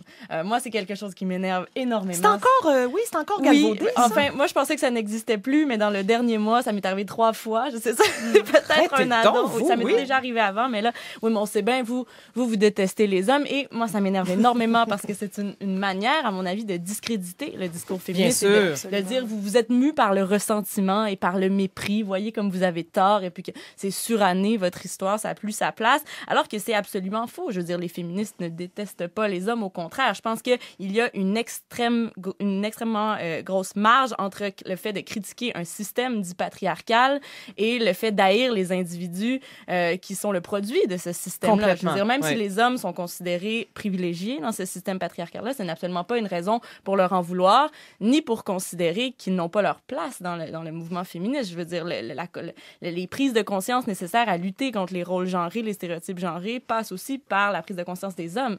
Et on, a, on, a tout, on a tout à gagner de travailler de pair, les deux sexes ensemble. Donc, c'est c'est assez fatigant de voir des hommes qui vont se sentir euh, exclus, peut-être parce que ça les arrange un peu, de dire comme, ben oui, mais vous, vous travaillez contre nous de toute façon, puis nous aussi, on souffre souffre des stéréotypes genrés, vous vous en rendez pas compte. Ouais, alors le discours que- égalitaire, là. ouais, Exactement, ouais. mais ce discours-là, c'est un peu une manière de neutraliser le discours féministe. C'est de dire comme euh, il n'y a pas vraiment d'inégalité en fait, il y a juste des mauvais rôles qui sont octroyés. Alors que non, il y a des mauvais rôles, mais il y a aussi des, inégalités, d'où la pertinence de se dire féministe plus que, je sais pas, disons, Voilà. égalitariste. Ouais. Donc euh, Ou voilà. humaniste. Eh, ou humaniste, ce qui, ce qui est C'était pas à la mode, hein, c'est à la mode. époque. Ouais, Absolument, je pense qu'on peut être les deux. Je veux dire, euh, le, le féminisme, à, à mon avis, c'est une Est forme un humanisme. Ben oui, oui, absolument. complètement. Absolument. Donc, c'est ça, le féminisme qui n'a rien à voir avec le rejet de l'homme et le fait de- d'aimer les hommes ou d'avoir un conjoint ou un mari n'est absolument pas en contradiction avec le discours féministe. La lettre I. Passons maintenant à vous, Martine Delvaux. Indépendance. Eh oui. Euh, je me disais, je suis euh, probablement, enfin, je fais partie de cette génération, d'une de ces premières générations élevées par des femmes qui étaient féministes, qui étaient nouvellement féministes. Et une des leçons que ma mère euh, s'est bien efforcée de me faire, euh, de m'apprendre, c'est qu'il fallait être indépendante financièrement. C'était très important. Et ça reste aujourd'hui important, à dire que l'indépendance, les femmes se sont battues pour leur indépendance économique, leur indépendance de pensée, leur indépendance sexuelle, euh, leur liberté. Et en même temps, ce qu'on voit aujourd'hui sur la place publique, et c'est ça qui m'a intéressée, c'est euh, quel est le prix qu'on paye pour cette indépendance économique, pour le Mm. dire comme ça. Donc, on nous a dit il faut aller sur le marché du travail, et en même temps, ben, les femmes, euh, si elles le veulent, devraient et doivent pouvoir avoir des enfants et donc les élever, avoir une vie de famille et tout.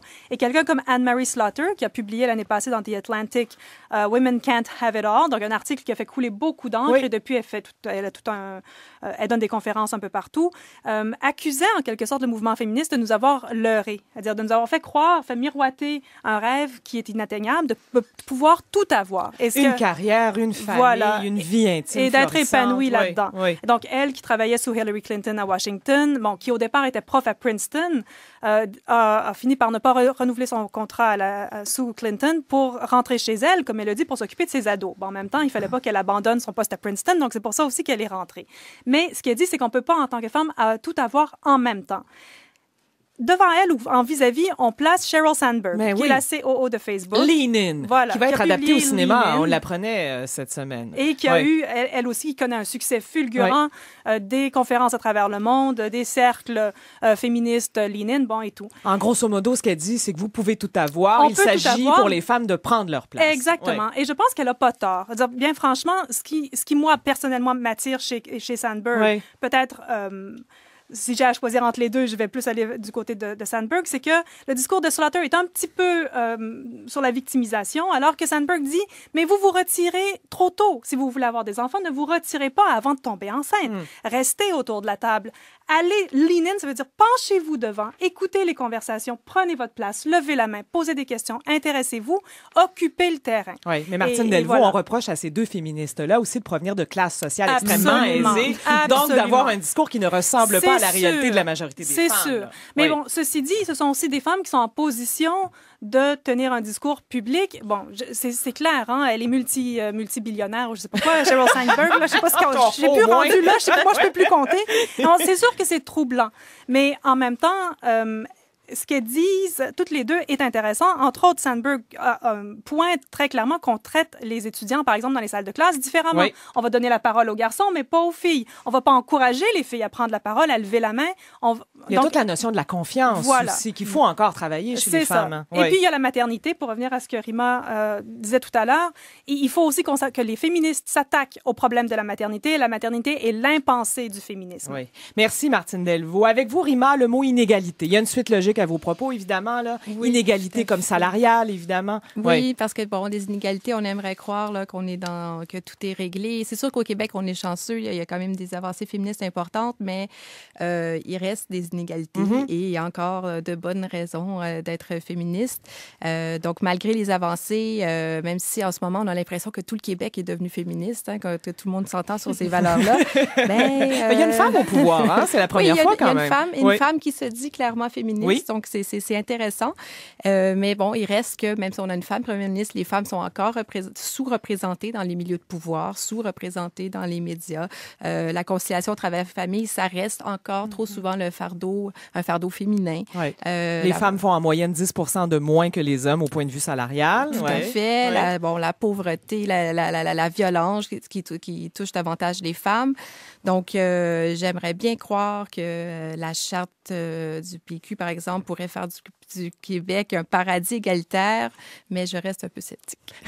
oui, on vous entend bien, Rima El-Khoury. Terminons avec vous, Aurélie Langto, toujours avec la lettre I, un concept élaboré en 1991 par la juriste américaine Kimberly Crenshaw, intersectionnalité. Qu'est-ce que ça veut dire? Alors bon, euh, on était dans les inégalités ouais. dont parlait Rima, égalité entre les hommes et les femmes. Euh, je pense que l'intersectionnalité, ça va être pas facile à dire. bon, ça pourrait renvoyer peut-être aux inégalités qui existent à l'intérieur même des groupes de femmes. Euh, donc, c'est un outil d'analyse, bon, comme on disait, qui vient de la sociologie, de la science politique oui. et qui consiste à dire que euh, si les femmes peuvent entre elles avoir toutes un historique commun d'oppression, du fait qu'elles sont des femmes, euh, le, le, le, corps féminin, là, le corps au sens de toutes les femmes, oui, oui. peut lui-même être traversé par des enjeux d'oppression qui n'ont rien à voir avec le sexe, mais qui se qui, qui viennent se greffer à l'oppression genrée et qui fait en sorte que certaines femmes, à l'intérieur des groupes de femmes, n'auront pas accès à des privilèges que certaines autres, auxquels certaines autres femmes ont accès. On parlait justement du féminisme à la Sheryl Sandberg, tout ça. Ces femmes-là ont accès à des ressources et à un modèle émancipatoire qui est vraiment pas, euh, qui est vraiment pas accessible à celle des, des, des, femmes issues des classes inférieures, par exemple. Oui. Mais ces inégalités-là peuvent aussi venir euh, de, de, de, contraintes culturelles, de, de, divergences identitaires. Souvent, c'est un, un, concept qui renvoie beaucoup au, au, au, féminisme chez les minorités au sein des, de, la culture majoritaire. Ouais. Si on prend l'exemple de la charte pour rendre ça très concret, hein, oui, ben, c'est intéressant d'appliquer le concept à ce qui se passe très intéressant d'appliquer oui, ça parce que c'est en ce moment, avec la charte, tout le monde se dit féministe, mais c'est un modèle féminisme à taille unique qu'on qu prône en ce moment. C'est de dire que c'est un féminisme qui est essentiellement,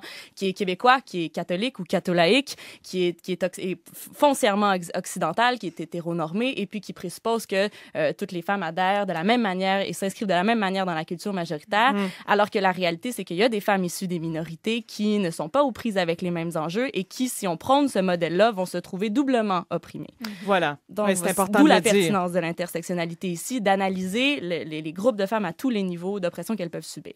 Martine Delvaux, Aurélie Langto et Rima El-Khoury, merci beaucoup d'avoir participé à cet exercice aujourd'hui. Merci, merci, à vous. Merci, Marie-Louise.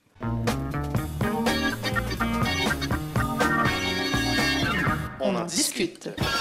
En octobre dernier, le webzine américain Jezebel publiait un abécédaire féministe avec des noms de femmes influentes et célèbres comme Margaret Atwood, Mia Hamm ou Lena Dunham, des mots comme ovaire, tampon, cellulite et épouse, des titres de films comme Thelma and Louise et des personnages de fiction comme Carrie Bradshaw ou Peggy Olson. Or, depuis l'automne dernier, nous avons aussi entrepris de faire le même exercice dans une version canadienne, comme le témoigne le montage réalisé par Philippe Roberge que l'on vient d'entendre, avec des femmes d'horizons différents.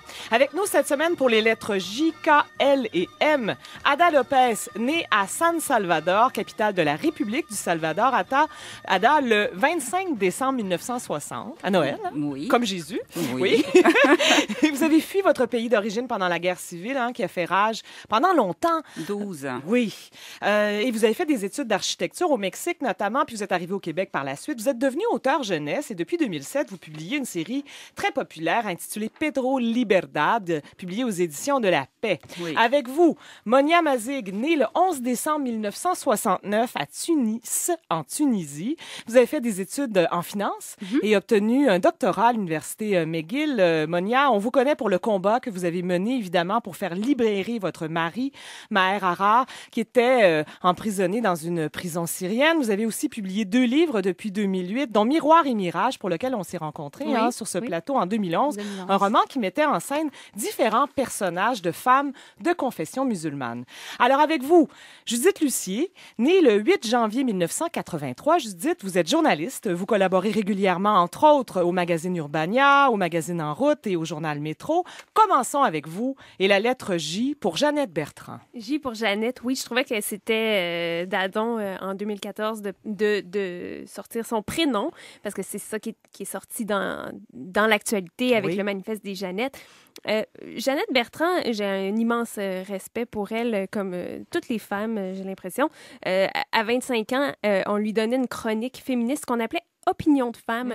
Et moi, j'ai pu m'identifier à ça parce que, en fait, je suis devenue, moi, féministe à partir du moment où on m'a traité de féministe euh, parce que j'avais des opinions. Et euh, donc, puisque j'avais une chronique, euh, forcément, je devais bien être féministe, hein, puisque je, je- je me permettais de m'exprimer sur la place publique, ce qui est déjà ce qui est un, un statement féministe pour certains. Et c'est là que j'ai réalisé l'importance d'être féministe. et Alors, de- imaginez à l'époque à laquelle elle, elle a commencé à travailler, comment c'était avant-gardiste. Tout à fait. Et donc, Ouais. par, par simplement son, son action, euh, euh, juste le fait d'avoir euh, été une personnalité publique dans ces années-là, pour Mhm. moi, ça en fait euh, une, une personnalité féministe forte. Euh, c'est difficile, évidemment, pour nous de concevoir aujourd'hui qu'une grande féministe euh, se soit dé- démarquée par sa- son courrier du cœur ou sa, sa recette de jambon au, au foin. Mais il faut vraiment mettre les bon, choses dans, exemple. dans Oui. leur contexte, effectivement. Par contre, euh, je pense que je peux parler pour euh, une- un certain nombre de féministes de ma génération. Il y a eu une certaine déception euh, au, à l'automne quand Jeannette Bertrand a sorti son, fémini- son, son manifeste. Qui a été publié dans la plupart des journaux, les quotidiens montréalais, Oui, la évidemment, presse, quand- le Devoir, le Huffington, ouais. Oui, Ouais. évidemment, quand une grande femme comme ça prend position dans un débat important comme celui de la Charte des valeurs, on, on l'écoute. C'était un court manifeste de quelques lignes. J'ai été déçue du- peu de... Bon, je pense qu'on peut avoir toutes sortes de positions féministes par rapport à la Charte et ils sont- elles sont toutes valables. J'ai été déçue, disons, du peu de réflexion que j'ai ressenti Mhm. euh, dans cette prise de position. Euh, j'ai l'impression qu'on a eu affaire à un- un- une sorte de féministe de féminisme de privilège qu'on n'a jamais remis en question. Et on s'est jamais demandé en fait qu'est-ce que ces femmes-là qui seraient victimes de, de- des effets de cette charte-là euh, vont vivre concrètement. Parce que bon euh, puis, puis- là il faudrait intégrer dans la réflexion féministe euh, l'intersection- l'intersectionnalité dont on a parlé avec Aurélie Langto Oui. lors de l'abécédaire précédent, qui tient compte donc des différentes origines, des couches sociales, des Oui, confessions religieuses, des des, différentes femmes, formes d'oppression dont on peut être victime. Oui. Monia Mazé, qu'est-ce que vous avez pensé du manifeste euh, des Jeannettes en octobre dernier? Bah- Pas faire autrement que vous le demandez, là, quand même. Bah, oui, oui, oui, c'est sûr. Euh, moi, j'ai trouvé un peu, euh, disons, euh, sans tomber dans la victimisation, Mhm. je trouvais ça un peu, euh, comme Judith vient de le dire, c'est assez superficiel et c'est assez vieillot. C'est- C'était un féminisme euh, d'une autre génération euh, que le Be- Québec ne vit plus. Euh, donc, il y a plusieurs autres, euh, euh, disons, compréhensions du Nouveau-Québec. Et Mhm. donc, en plus, je me suis sentie tellement visée quand elle a commencé à dire folle et ça est devenu très, très émotif. Et puis, je crois que ça, ça a dérapé. Ça a vraiment, malheureusement, parce que je pense que beaucoup de Québécoises et Québécois ont beaucoup de respect pour elle, mais avec euh, sa sortie euh, lors euh, de tout ce débat-là, euh, je crois que l'émotif a pris le dessus sur le rationnel et finalement, euh, ça a mal terminé. Bon, j'espère que non, mais... Ouais. Passons à vous maintenant, justement, toujours avec la lettre J. Jupe culotte, Monia Mazig. Oui. Bah, euh, c'est ça. Je, je vous ai dit qu'au début, je trouvais pas vraiment facile ce jeu-là. Et puis, euh, comme ça, euh, j'ai commencé à, à un peu me euh, réfléchir. Et puis, tout à coup, il y a eu ce mot-là qui m'est apparu, qui m'est revenu à l'esprit. Parce que je me rappelle, quand j'avais 8-9 ans, j'ai tellement insisté, voulu que je porte cette jupe culotte. Et j'ai demandé à mon père, en fait, c'est lui, il m'a emmené dans un magasin, ça s'appelle Féline. Et Ah, c'était un magasin, oui, un très beau magasin pour, euh, pour des petites filles. Et puis, euh, il y avait cette jupe culotte-là et, et je l'ai achetée. Et c'était à la mode. Et là, bien sûr, maintenant, euh, ça fait quand même un bon bout de temps que ça, ça s'est passé. On n'en voit plus vraiment, Vraiment, aujourd'hui. Hein? Ouais. Mais il y a peut-être un an ou deux, euh, je cherchais quelque chose sur Internet et je suis tombée sur un article qui parlait en fait un peu de cette... euh, Quelqu'un qui cherchait un patron, un patron pour faire de la couture, une femme qui fait...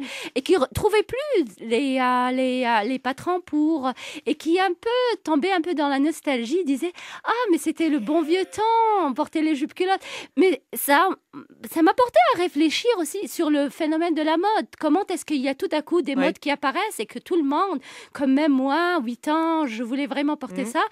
Mais c'est un que- symbole quand même d'équité, la jupe culotte. Absolument, Ben oui. c'est ça, parce que quand j'ai, euh, quand en fait j'ai réfléchi un peu et puis quand je suis allée faire un peu de recherche, j'ai trouvé que c'est euh, à peu près euh, fin 19e siècle, c'est à ce moment-là que ça a apparu en Europe. Parce que quand on pense un peu plus, la jupe culotte ou bien dans les cultures asiatiques, chinoises, pakistanaises ou bien Mhm. indiennes, euh, arabes, il y a le serwal, il y a quelque chose qui ressemble. bon? Ça, c'est comme un, c'est comme vraiment, euh, c'est ça, s'appelle un serwal. C'est comme un pantalon bouffant et ça ressemble vraiment à une jupe. Les Turcs portent ça, les, euh, les Asiatiques. Donc, c'est finalement quelque chose éthique, ça, ça existe. C'est un vêtement que je trouve très égalitaire et très avant-gardiste pour certaines sociétés alors- qui sont venues, de- devenues maintenant assez masochistes, assez C'est misogynes, vrai. pardon. Alors, faut militer pour le retour de la jupe Absolument, culotte. hein. oui. Oui. Ada Lopez, toujours avec la lettre J, le mot jouissance, qui est apparu pour la première fois au 15e siècle, comme d'en jouir d'un concept, d'un objet. Oui. Oui, tout à fait. Et puis, euh, c'est un peu euh, ce que je voulais amener. Oui. Euh, tantôt, dans le programme de Madame Perrin, j'entendais Oui. parler de la langue de bois. Et je me dis que nous autres, nous subissons dans la vie de tous les jours euh, les conditionnements sociétals dans la compréhension et l'utilisation des mots. C'est-à-dire, nous suivons la mode. Oui, oui. Nous suivons la mode. Depuis tantôt, on parle de jouissance, on parle de jouir et on pense à quoi tout le monde? Ben, excusez-nous, Ada. là. Ah, voilà, on pense au sexe. Mais, Ah, mais j'étais pas là. mais je veux ton regard, alors je pense que oui. Alors, euh, on pense tous au sexe quand on parle de jouissance, mais on oublie toutes les autres définitions du mot jouissance. C'est-à-dire? Exemple, plaisir, et ça, ça sort d'un dictionnaire, c'est Oui, pas oui. moi qui le dis. plaisir intense, intellectuel ou moral, que l'on tire de la possession de quelque chose ou de la connaissance. Deuxième définition, libre disposition de quelque chose ou d'un état. Exemple, jouissance de la liberté de parole, de la liberté d'étudier. Troisième définition. C'est important pour vous, ça, oui. Ah ben, il Oui, faut. oui. Il y a tellement de gens dans le monde et combien de femmes sont réprimées parce qu'ils prennent la parole. Alors, une autre définition, perception des fruits naturels ou civils d'un bien. Hmm. Avoir ou garder la jouissance de son appartement, d'une propriété. Combien de femmes dans le monde n'ont pas accès à la propriété? Alors, et enfin, à la, la dernière définition, plaisir physique intense. Ben oui, il y a Les femmes dans le monde jouissances- aussi qui peuvent pas profiter de la jouissance voilà physique, où ouais. je voulais venir, Ouais, les ouais. jouissances de l'amour. Mais quand on pense à l'excision, Hmm. que c'est une ablation rituelle du clitoris et même des petites lèvres, excusez-moi, il y a beaucoup de femmes qui ont aucune jouissance. Et voilà. Merci, Ada. C'est très convaincant. Alors, passons à la lettre K et le mot kabi- kamikaze avec vous, Judith Lucie. Ouais. Euh, oui, tout à fait, parce Pourquoi? que je, je crois qu'il faut l'être euh, pour euh, être publiquement euh, féministe. Euh, contrairement à ce que pense un certain blogueur de chez Urbania, on n'est pas euh, féministe pour se faire aimer. Euh, Vous au faites contraire. entre- euh, référence à l'entrée de blog, il faut le nommer, de Pascal Oui, de Pascal publié le 12 février dernier, où il accuse d'une certaine façon les féministes de ne pas parler assez de l'amour et du respect qu'elles ont pour les hommes. Oui, et- et- Ce qui a généré des commentaires il nous dit extrêmement durs. si vous voulez être aimable, si vous voulez qu'on vous aime, soyez aimable. La dernière chose qu'on doit dire à une féministe. Mais bon, euh, moi, je vais parler de ce que je connais, le féminisme euh, sur Internet et euh, ce, qui, fait de nous des kamikazes, c'est qu'en fait, on est victime euh, sur Internet, les femmes, de, euh, de, de- vachement plus de harcèlement Ah oui. que les hommes. Il y a le Pew Research Center qui a fait une étude qui l'a publiée en 2007 qui prouve là, que les femmes sont victimes de violences, d'agressivité sur Internet 100 fois plus, le rien de Tout moins que les hommes. Dans- hein, dans- ouais. dans- ils, ont, Ouais. ils ont créé des faux comptes euh, gars-filles et euh, les faux comptes euh, avec des prénoms, des noms féminins euh, recevaient sans, sans insultes ou euh, messages haineux ou à caractère sexuel Contre par six, jour ouais, contre pour les hommes. 3,7 Ouais. je pense pour les hommes. Et euh, c'est- c'est c'est in- c'est incroyable. Moi, je pensais que je vivais ça toute seule, mais là, je sais que je me demandais qu'est-ce que les, si les garçons vivaient ça eux aussi, Mm. mais là, je sais que non. Et euh, Mais la haine est répandue dans les commentaires Internet de façon assez générale, mais Oui, effectivement, il y a une concentration, de la, une concentration de la haine envers les, les femmes, les blogueuses notamment, Tout ou les femmes fait. qui font des commentaires. Et ouais. même pas juste les blogueuses. Les, les filles sur Internet sont victimes de ça. Ouais. Et euh, ben, ça fait en sorte que euh, c'est plus difficile pour nous de nous exprimer sur les réseaux sociaux, sur l'Internet. Ça décourage les filles d'avoir des carrières dans l'écriture et dans la, tout ce qui est sur Internet, tout ce qui se passe sur Internet. Donc, aux États-Unis, on est en train d'en faire un, un enjeu de droit civique pour montrer à quel point euh, ça peut avoir des Mhm. répercussions néfastes sur l'emploi. Parce que la- ça peut être une forme de discrimination à l'emploi quand on sait que euh, les filles n'ont pas accès aux mêmes euh, postes. Par exemple, chez Trouble Voir, c'est- c'est- on a de la difficulté à recruter des filles parce que euh, pour aller jouer dans le trafic sur Internet, euh, pour, quand on est une fille, c'est pas facile. Voilà, merci Judith Lucier. Toujours avec la lettre K, Monia Mazig, le col. Vous n'en portez pas d'ailleurs. Non, euh, très rarement d'ailleurs, Oui. mais euh, c'est ça, je trouvais euh, assez aussi intéressant de parler de quelque chose euh, qui a en fait eu pendant des siècles, parce que c'est le col, c'est c'est à la fois euh, un produit médicinal, mais aussi un produit cosmétique, et donc euh, on- qui a été utilisé par les pharaons. Euh, on le voit jusqu'à maintenant dans tout ce qui est relié à les, les monuments en Égypte. Et c'est encore utilisé par... Même maintenant, on appelle colle tout ce qui est crayon, même si c'est un crayon, parce qu'au début, c'était une poudre.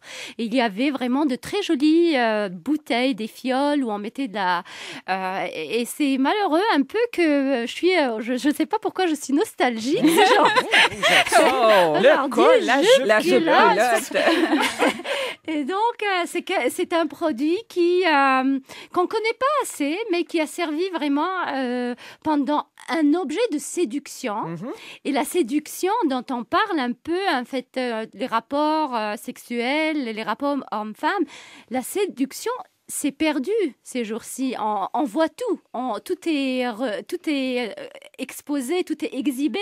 Tout est pornographique presque. Absolument. Ouais. Ah et, Ouais. et la banalisation de tout ce qui est pornographique est devenue normale pour les jeunes.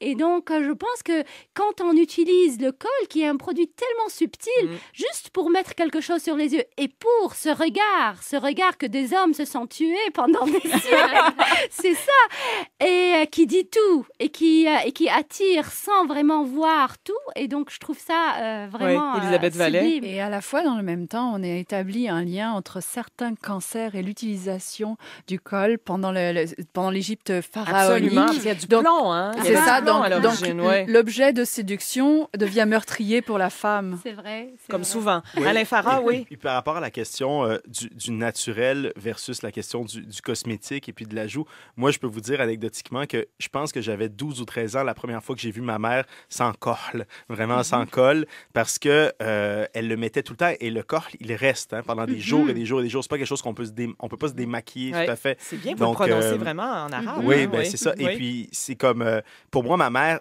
avait toujours des yeux comme ça naturellement. Mhm. Ah. Donc c'est Mhm. très curieux, euh, c'est-à-dire cette espèce de, de fusion entre euh, Mais c'est aussi l'artifice euh, et la- un peu pour hommes et femmes, hein, parce que les Oui, pharaons, c'est les pharaons, c'est les hommes Oui, qui c'est mettaient ça. Donc c'était quelque chose que vraiment euh, qui transcendait, qui, qui allait Ouais. euh, à euh, l'autre. des- De l'un à l'autre. Encore une fois, on est dans l'égalité avec. Oui. Nostalgie et égalité. Euh, Ada Lopez, rapidement, vous voulez faire ça rapidement, donc avec la lettre K. Katerina, donc Kateri, pardon, Takakwita. Hein? Oui. Je le prononce, je crois, assez bien. C'est la première religieuse autochtone à être béatifiée. Elle l'a été en 2012 par Benoît XVI. Oui. Exactement. Puis si je veux parler de Caterite Kakuita, c'est parce que pour moi, elle est une sainte rebelle.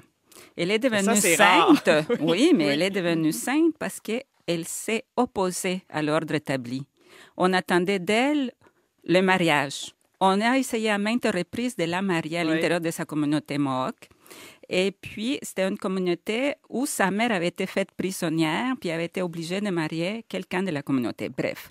Alors, elle s'est opposée à ce mariage, elle a provoqué la colère autour d'elle, etc. Et euh, au contact des Jésuites, elle a pris connaissance de l'existence Mhm. des euh, Ursulines à Québec, et leur façon de vivre l'a séduite. Pourquoi? Ben, on ne peut pas le savoir. Mais elle voulait vivre cette vie-là, puis elle s'est opposée à ce qu'on attendait d'elle. Et puis, à cause de ça, elle a été... euh, Elle a, suivi des mena- elle a subi des menaces Eh de oui, mort. eh oui. On a essayé de la tuer et elle a eu de l'harcèlement de toutes sortes. Elle a dû fuir sa communauté et finalement, Maintenant, on la connaît comme sainte, mais au départ, c'est une révolte face à l'ordre établi. Merci, Ada Lopez. De Avec la lettre L, Judith Lu- Lucie, rapidement, le mot lutte. Lutte, un mot que Ouais. j'aimerais voir euh, retiré de l'abécédaire féministe, en fait, parce que je, je suis tannée qu'on... ben, je, me sentais, je me sentais vraiment euh, révolutionnaire de choisi, dire oui. ça, mais euh, en même temps, j'ai réalisé en lisant un texte de Geneviève Saint-Germain cette semaine que euh, c'est un, c'est un vieux vœu pieux des féministes de, de- que, que, que la lutte ne- n'en soit plus une et Mm. que qu'on qu'on- qu'on- qu'on ne soit plus dans la lutte entre les sexes, du moins, Euh, Mm-hmm. parce que euh, il faut réaliser qu'il y a personne qui a avantage à ce que euh, à ce qu'on soit campé dans nos stéréotypes dans nos stéréotypes de genre et qu'on ait, qu'on ouais. ait à répondre à, euh, aux attentes euh, qui, qui, qui nous sont euh, liées en raison de notre sexe. Donc, euh, ça, ça n'avantage personne. Et donc, euh, l'égalité des sexes, ça, ça serait fa- aussi- autant favorable pour les hommes que pour les femmes. Mais bien entendu. Monia Mazig, avec la lettre L, le mot laveuse. Oui, ça a été important quand même, ça, dans la libération des femmes. Oh, hein. absolument. On parle surtout de la pilule, par exemple, tout Ouais. le temps, tout le temps. Et euh, on oublie euh, à, à reconnaître euh, que la laveuse, machine à laver ou lave-linge, euh, qui a été quand même, euh, j'étais surprise de voir, c'était inventé euh, 1787. Mhm. euh, assez, c'est quand même pas mal de temps. Mais le- la différence, c'est que c'était pas aussi possible de l'avoir. Une question de d'argent. Donc, c'était relié surtout à la, notre position sociale. Mais aujourd'hui, avec un peu une distribution de richesses un peu plus égalitaire, disons. Et puis, donc, euh, les femmes peuvent s'acheter, hommes et femmes peuvent s'acheter la laveuse finalement. Et euh, essayer de, de ne pas passer toute la journée à, ne- à, à laver, à, à ne faire que ça. Et je pense que euh, c'est grâce à la laveuse que beaucoup de femmes aujourd'hui peuvent encore aller sur le marché d'emploi et peuvent travailler. Si ce n'était Mhm. pas à cause... Sinon, elles seraient encore en train de laver euh, vraiment les Oui, c'est un chaussettes. symbole puissant, surtout les femmes qui ont des enfants, Absolument, évidemment. hein. absolument. Oui. Merci, Ada Lopez. Avec Ada, Monia Ada Lopez, Oui. avec la, la lettre L, le mot lèvres. Oh, les lèvres. Oui. Si celle je- d'en bas ou celle d'en haut? Attendez-moi un petit peu. si je vous dis crémeuse ou traditionnelle, vous pensez à quoi? À la salade. À la salade. Moi, je pense à l'émission de Monsieur Masbourian, Oui. qui donne comme deux options Ah oui, de la version, deux Ben versions différentes d'une même euh, pièce. tantôt, oui, c'est ça. Mais oh, je- évidemment, je pense aussi au- à la salade des choux. Mais si je parle de ça en parlant des lèvres, si je vous dis pulpeuse ou fine, botox ou bistouri, maquillage permanent ou piercing, ça indique, ça implique un choix. Et je trouve que nous, on donne à notre corps, on l'utilise pour le transformer au choix selon la mode du jour, Mhm. selon l'inspiration du moment. Et c'est, ce qui est le pire, c'est que ce n'est, pas seulement l'élève du haut des femmes, ce n'est pas juste l'élève du visage qui passe sur les bisturis ou les botox. Beaucoup les lèvres. euh, Beaucoup ouais. les lèvres Ouais. génitales. Ouais. Et les- le plus aberrant dans tout ça, c'est qu'on trouve cela normal ou de moins acceptable dans notre société parce que on brandit pour tout et pour rien la charte des droits et libertés, puis mes propres intérêts, puis blablabla. Bla, bla, bla. Mais c'est aberrant, ces cultes qu'on porte à l'organe sexuel aux, allures d'enfant. Pas de poils, euh, les petites lèvres rondes et lisses, etc., etc. Et les le plus grave dans tout ça, c'est que Mhm. les femmes plongent de plein gré dans ces commerces de superficialité et le pire dans tous ces phénomènes, c'est qu'elles y entraînent leurs filles de leur plus jeune âge. On n'a qu'à penser aux petites filles qui savent à peine marcher puis qui on leur fait porter des talons hauts ou celles qui sont habillées ou maquillées comme des mini péripaticiennes.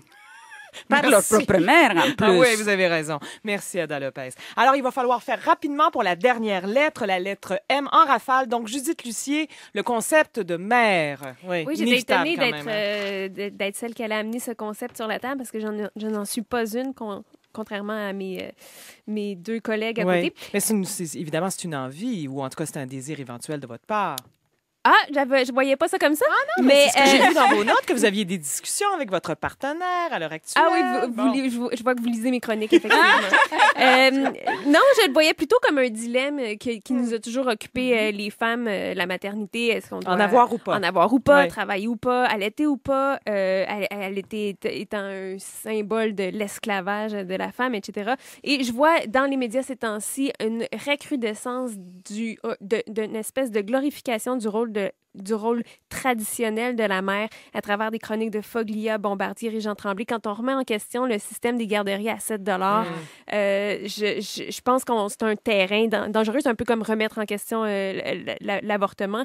Et pour terminer, Oui. Procter et Gamble qui fait, qui commandite des capsules Une mère, un athlète en valorisant encore ce- le rôle de la mère traditionnelle euh, derrière le succès de nos athlètes, des compagnies qui, qui, qui, qui sont derrière Tide, Pampers, etc. Et voilà. Merci, Judith Merci, Lucier. La lettre M, Monia Mazig. Malala Yousafzai, dont nous avons parlé à cette émission, Mhm. c'est évidemment cette jeune Pakistanaise qui a été victime d'un attentat, qui a raconté de façon très courageuse hein, Mhm. son histoire. Ouais. Et je pensais que ce serait quand même un peu euh, euh, l'oublier si on passe par la lettre M. euh, Ouais. sans- Canadienne euh, honorifique, Absolument, d'ailleurs. Oui. Absolument, parce Oui. que c'est ça, je trouvais ça aussi intéressant de, de voir son nom euh, comme un nom canadien. Et donc, je pense que son livre, Moi, Malala, est un... Bon, je ne l'ai pas lu encore, j'espère le, le lire Oui. bientôt, mais qui, doit être... qui est aussi censuré au Pakistan, apparemment, dans certaines Oh. écoles.